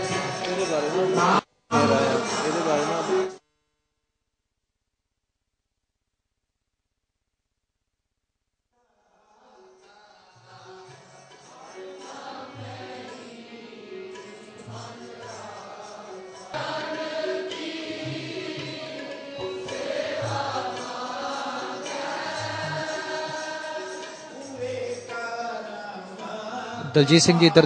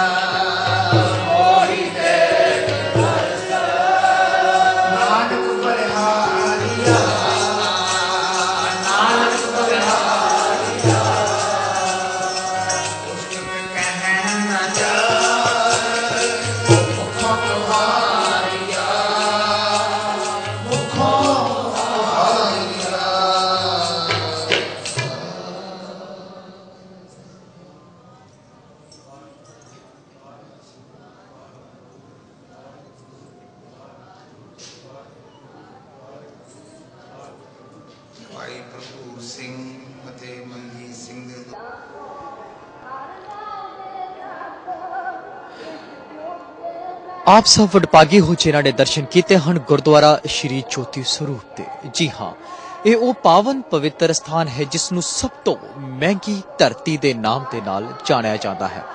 ਤੇ ਜਿਵੇਂ ਕਿ ਸਾਡੇ ਨਾਲ ਭਾਈ ਸਾਹਿਬ ਭਾਈ ਗੁਰਪ੍ਰੀਤ ਸਿੰਘ ਜੀ ਜੁੜੇ ਹੋਏ ਨੇ, ਅਸੀਂ ਇਹਨਾਂ ਤੋਂ ਇਸ ਸਥਾਨ ਦੇ ਮਹਾਤਮ, ਇਸ ਸਥਾਨ ਦੇ ਇਤਿਹਾਸ ਬਾਰੇ ਵੀ ਜਾਣਦੇ ਹਾਂ। ਭਾਈ ਸਾਹਿਬ ਜੀ, ਜਿਵੇਂ ਕਿ ਅਸੀਂ ਪਹਿਲਾਂ ਹੀ ਜ਼ਿਕਰ ਕੀਤਾ ਹੈ ਵੀ ਇਸ ਧਰਤੀ ਨੂੰ ਮਾਣ ਹਾਸਲ ਹੈ, ਸਭ ਤੋਂ ਮਹਿੰਗੀ ਧਰਤੀ ਦਾ। ਤੇ ਇਸ ਬਾਰੇ ਕੀ ਕਹਿਣਾ ਚਾਹੋਗੇ? ਧਰਤੀ ਕਿਉਂ ਨਾ ਮਹਿੰਗੀ ਹੁੰਦੀ? ਕਿਉਂਕਿ ਇਹੋ ਜਿਹੇ ਅਮੋਲਕ ਲਾਲ ਵੀ ਕਿਸੇ ਮਾਤਾ ਪਿਤਾ ਦੇ ਘਰ ਨਹੀਂ ਪੈਦਾ ਹੁੰਦੇ। ਇਸ ਕਰਕੇ ਜੇ ਉਹ ਲਾਲਾਂ ਦੀ ਕੋਈ ਕੀਮਤ ਨਹੀਂ, ਇਸ ਧਰਤੀ ਦੀ ਵੀ ਕੋਈ ਕੀਮਤ ਨਹੀਂ। ਮਾਤਾ ਗੁਜਰ ਕੌਰ ਜੀ, ਪਿਛਲੇ ਬਵਾਨਗੜ ਤੋਂ ਟੋਡਰਮਲ ਪਤਾ ਨਹੀਂ ਕਿਹੋ ਜੀ ਦਸ਼ਾ ਹੋਏਗੀ ਉਹਦੀ। ਜਿਸ ਸਰਹੰਦ ਦੀ ਕਚਹਿਰੀ ਦੇ ਵਿੱਚ ਇੱਕ ਮਲੇਰ ਕੋਟਲੀਏ ਤੋਂ ਬਿਨਾ ਕੋਈ ਹਾ ਦਾ ਨਾਰਾ ਵੀ ਨਾ ਮਾਰ ਸਕਿਆ, ਕੌਣ ਆਇਆ ਹੋਊਗਾ ਸੰਸਕਾਰ ਤੇ ਨਾਲ? ਕੀ ਟੋਡਰ ਮਲ ਦੇ ਮਨ ਤੇ ਬੀਤਦੀ ਹੋਗੀ ਇਤਿਹਾਸ ਜਦੋਂ ਪੜ੍ਹਦੇ ਆ ਨਾ, ਕਹਿੰਦੇ ਕਈ ਵਾਰੀ ਟੋਡਰ ਮਲ ਤਾਂ ਹੀ ਰੋ ਪੈਂਦਾ ਸੀ, ਮਾਤਾ ਵੱਲ ਦੇਖ ਕੇ। ਕਹਿੰਦੇ ਮਾਤਾ ਇਹੀ ਸਰੀਰ ਜੇ ਕਿਤੇ ਤੂੰ ਆਨੰਦਪੁਰ ਸਾਹਿਬ ਤਿਆਗਦੀ। ਕਿਹੋ ਜਿਹਾ ਦ੍ਰਿਸ਼ ਹੋਣਾ ਸੀ। ਚਾਰ ਸਾਹਿਬਜ਼ਾਦੇ ਤੇਰੇ ਕਾਨੀ ਹੁੰਦੇ। ਤੇਰਾ ਪੁੱਤਰ ਗੁਰੂ ਗੋਬਿੰਦ ਸਿੰਘ ਮਹਾਰਾਜ ਪਾਤਸ਼ਾਹ ਤੇਰੇ ਨਾਲ ਹੁੰਦਾ। ਲੱਖਾਂ ਦੀ ਗਿਣਤੀ ਦੇ ਵਿੱਚ ਖਾਲਸਾ ਗੁਰੂ ਕੇ ਸਿੱਖ ਤੈਨੂੰ ਤੋਰਦੇ। ਪਰ ਮਾਤਾ ਮੈਂ ਕਿਹੜੇ, ਕਿਸ ਹਾਲ ਵਿੱਚ ਤੇਰਾ ਸੰਸਕਾਰ ਕਰ ਰਿਹਾ ਕਿਤੇ ਮੇਰੇ ਤੋਂ ਕੋਈ ਬੇਅਦਬੀ ਹੋ ਗਈ, ਕਿਰਪਾ ਕਰੀ। ਇਸ ਜਗ੍ਹਾ ਤੇ ਜਿਹੜਾ ਥੜੇ ਸਾਹਿਬ ਦੇ ਤੁਸੀਂ ਦਰਸ਼ਨ ਕੀਤੇ ਨੇ, ਤੇ ਚੰਦਨ ਦੀ ਜੋ ਉਹਨਾਂ ਨੇ ਚਿਖਾ ਤਿਆਰ ਕੀਤੀ, ਚਿਖਾ ਤਿਆਰ ਕਰਨ ਤੋਂ ਬਾਅਦ ਇਤਿਹਾਸ ਕਹਿੰਦਾ ਹੈ, ਮਾਤਾ ਗੁਜਰ ਕੌਰ ਜੀ ਦਾ ਸਰੀਰ ਵਿਚਕਾਰ ਇੱਕ ਪਾਸੇ ਬਾਬਾ ਜੋਰਾਵਰ ਸਿੰਘ ਸਾਹਿਬ, ਇੱਕ ਪਾਸੇ ਬਾਬਾ ਫਤਿਹ ਸਿੰਘ ਸਾਹਿਬ। ਜੋ ਸਤਿਗੁਰੂ ਪਾਤਸ਼ਾਹ ਦੀ ਬਾਣੀ ਦਾ ਪਾਵਨ ਵਚਨ ਹੈ, ਸੂਰਜ ਕਿਰਨ ਮਿਲੇ, ਜਲ ਕਾ ਜਲ ਹੁਆ ਰਾਮ, ਜੋਤੀ ਜੋਤ ਰਲੀ, ਸੰਪੂਰਨ ਥਿਆਰਾ ਇਸ ਜਗ੍ਹਾ ਤੇ ਸੰਸਕਾਰ ਹੋਇਆ ਤੇ ਕਿਸ ਭਾਵ ਸੀ, ਕੀ ਟੋਡਰ ਮਲ ਦੇ ਮਨ ਤੇ ਉਹਦੀ ਮਨੋਦਸ਼ਾ ਸੀ, ਸੰਸਕਾਰ ਅਸਥਾਨ ਇਸ ਜਗ੍ਹਾ ਤੇ, ਕਿਉਂਕਿ ਖੜੀਆਂ ਮੋਹਰਾਂ ਕਰਕੇ ਦੁਨੀਆ ਦੀ ਧਰਤੀ ਮਹਿੰਗੀ ਐਸੀ ਹੈ, ਮੈਂ ਇਹ ਮਹਿਸੂਸ ਕਰਦਾ ਪਿਛਲੇ ਦਿਨੀ ਇੱਥੇ ਗੁਰਮਤਿ ਸਮਾਗਮ ਦੇ ਵਿੱਚ ਵੀ ਇੱਕ ਸੱਜਣ ਨੇ ਬੜੀ ਸੋਹਣੀ ਗੱਲ ਬੋਲੀ ਸੀ। ਉਹ ਕਹਿੰਦੇ ਨੇ ਕਿ ਗੁਰੂ ਗੋਬਿੰਦ ਸਿੰਘ ਸਾਹਿਬ ਮਹਾਰਾਜ ਦੇ ਲਾਲਾਂ ਦੀ ਕੋਈ ਕੀਮਤ ਨਹੀਂ ਸੀ। ਇਸ ਕਰਕੇ ਉਹਨਾਂ ਦਾ ਸੰਸਕਾਰ ਵੀ ਸੋਨੇ ਵਤ ਮਹਿੰਗੀ ਧਰਤੀ ਤੇ ਹੀ ਹੋ ਸਕਦਾ ਸੀ। ਇਸ ਤੋਂ ਬਿਨਾ ਕੋਈ ਧਰਤੀ ਤੇ ਸੰਸਕਾਰ ਨਹੀਂ ਸੀ ਹੋ ਸਕਦਾ। ਸੋ ਸਾਹਿਬਜ਼ਾਦਿਆਂ ਨੇ ਇਥੇ ਬਾਕੀ ਉਹ ਪੂਰੇ ਸੀ ਤੇ ਗੁਰਬਾਣੀ ਕਹਿੰਦੀ ਹੈ, ਸੰਪੂਰਨ ਥੀ ਆ ਰਾਮ। ਸੰਪੂਰਨ ਹੋ ਗਏ। ਬੰਦਾ ਅਧੂਰਾ ਹੁੰਦਾ ਹੈ। ਸੰਸਾਰ ਉਹਨੂੰ ਵੀ ਪੂਰਾ ਕਹਿੰਦਾ ਹੈ। ਪੂਰਾ ਜਿਹਨੇ ਜ਼ਿੰਦਗੀ ਦੇ ਵਿੱਚ ਆ ਕੇ ਕੋਈ ਚੰਗੇ ਕਰਮ ਨਹੀਂ ਕੀਤੇ, ਉਹ ਪੂਰਾ ਕਿਵੇਂ ਹੋ ਸਕਦਾ? ਅਧੂਰੇ ਕਰਮਾਂ ਵਾਲਾ ਅਧੂਰਾ ਆਇਆ, ਅਧੂਰੇ ਕਰਮ ਕਮਾ ਕੇ ਅਧੂਰਾ ਚਲਾ ਗਿਆ, ਉਹ ਪੂਰਾ ਨਹੀਂ ਹੋ ਸਕਦਾ। ਜਿਹੜਾ ਪੂਰਾ ਹੁੰਦਾ ਉਹ ਪੂਰਾ ਹੀ ਆਉਂਦਾ ਪੂਰਾ ਹੀ ਕਰਕੇ ਜਾਂਦਾ ਔਰ ਪੂਰਾ ਹੀ ਨਾਲ ਲੈ ਕੇ ਜਾਂਦਾ, ਬਲਕਿ ਪੂਰਾ ਹੀ ਸੰਸਾਰ ਤੇ ਛੱਡ ਕੇ ਜਾਂਦਾ। ਜੇ ਅੱਜ ਅਸੀਂ ਅਰਦਾਸ ਵਿੱਚ ਇਹ ਅਰਦਾਸ ਕਰਦੇ ਹਾਂ, ਸੱਚੇ ਪਾਤਸ਼ਾਹ, ਜਿਨ੍ਹਾਂ ਸਿੰਘਾਂ ਸਿੰਘਣੀਆਂ ਨੇ ਧਰਮ ਹਿੱਤ ਸਾਕੇ ਕੀਤੇ ਬੰਦ ਬੰਦ ਕਟਾਏ, ਖੋਪਰੀਆਂ ਲਹਾਈਆਂ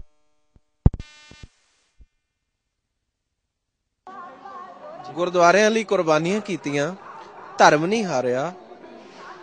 ਉਹਨਾਂ ਦੀ ਮੈਂ ਸਮਝਦਾ ਅਗਵਾਈ ਸਤਿਗੁਰੂ ਗੁਰੂ ਗੋਬਿੰਦ ਸਿੰਘ ਸਾਹਿਬ ਮਹਾਰਾਜ ਦੇ ਇਹਨਾਂ ਲਖਤੇ ਜ਼ਿਕਰਾਂ ਨੇ ਕੀਤੀ।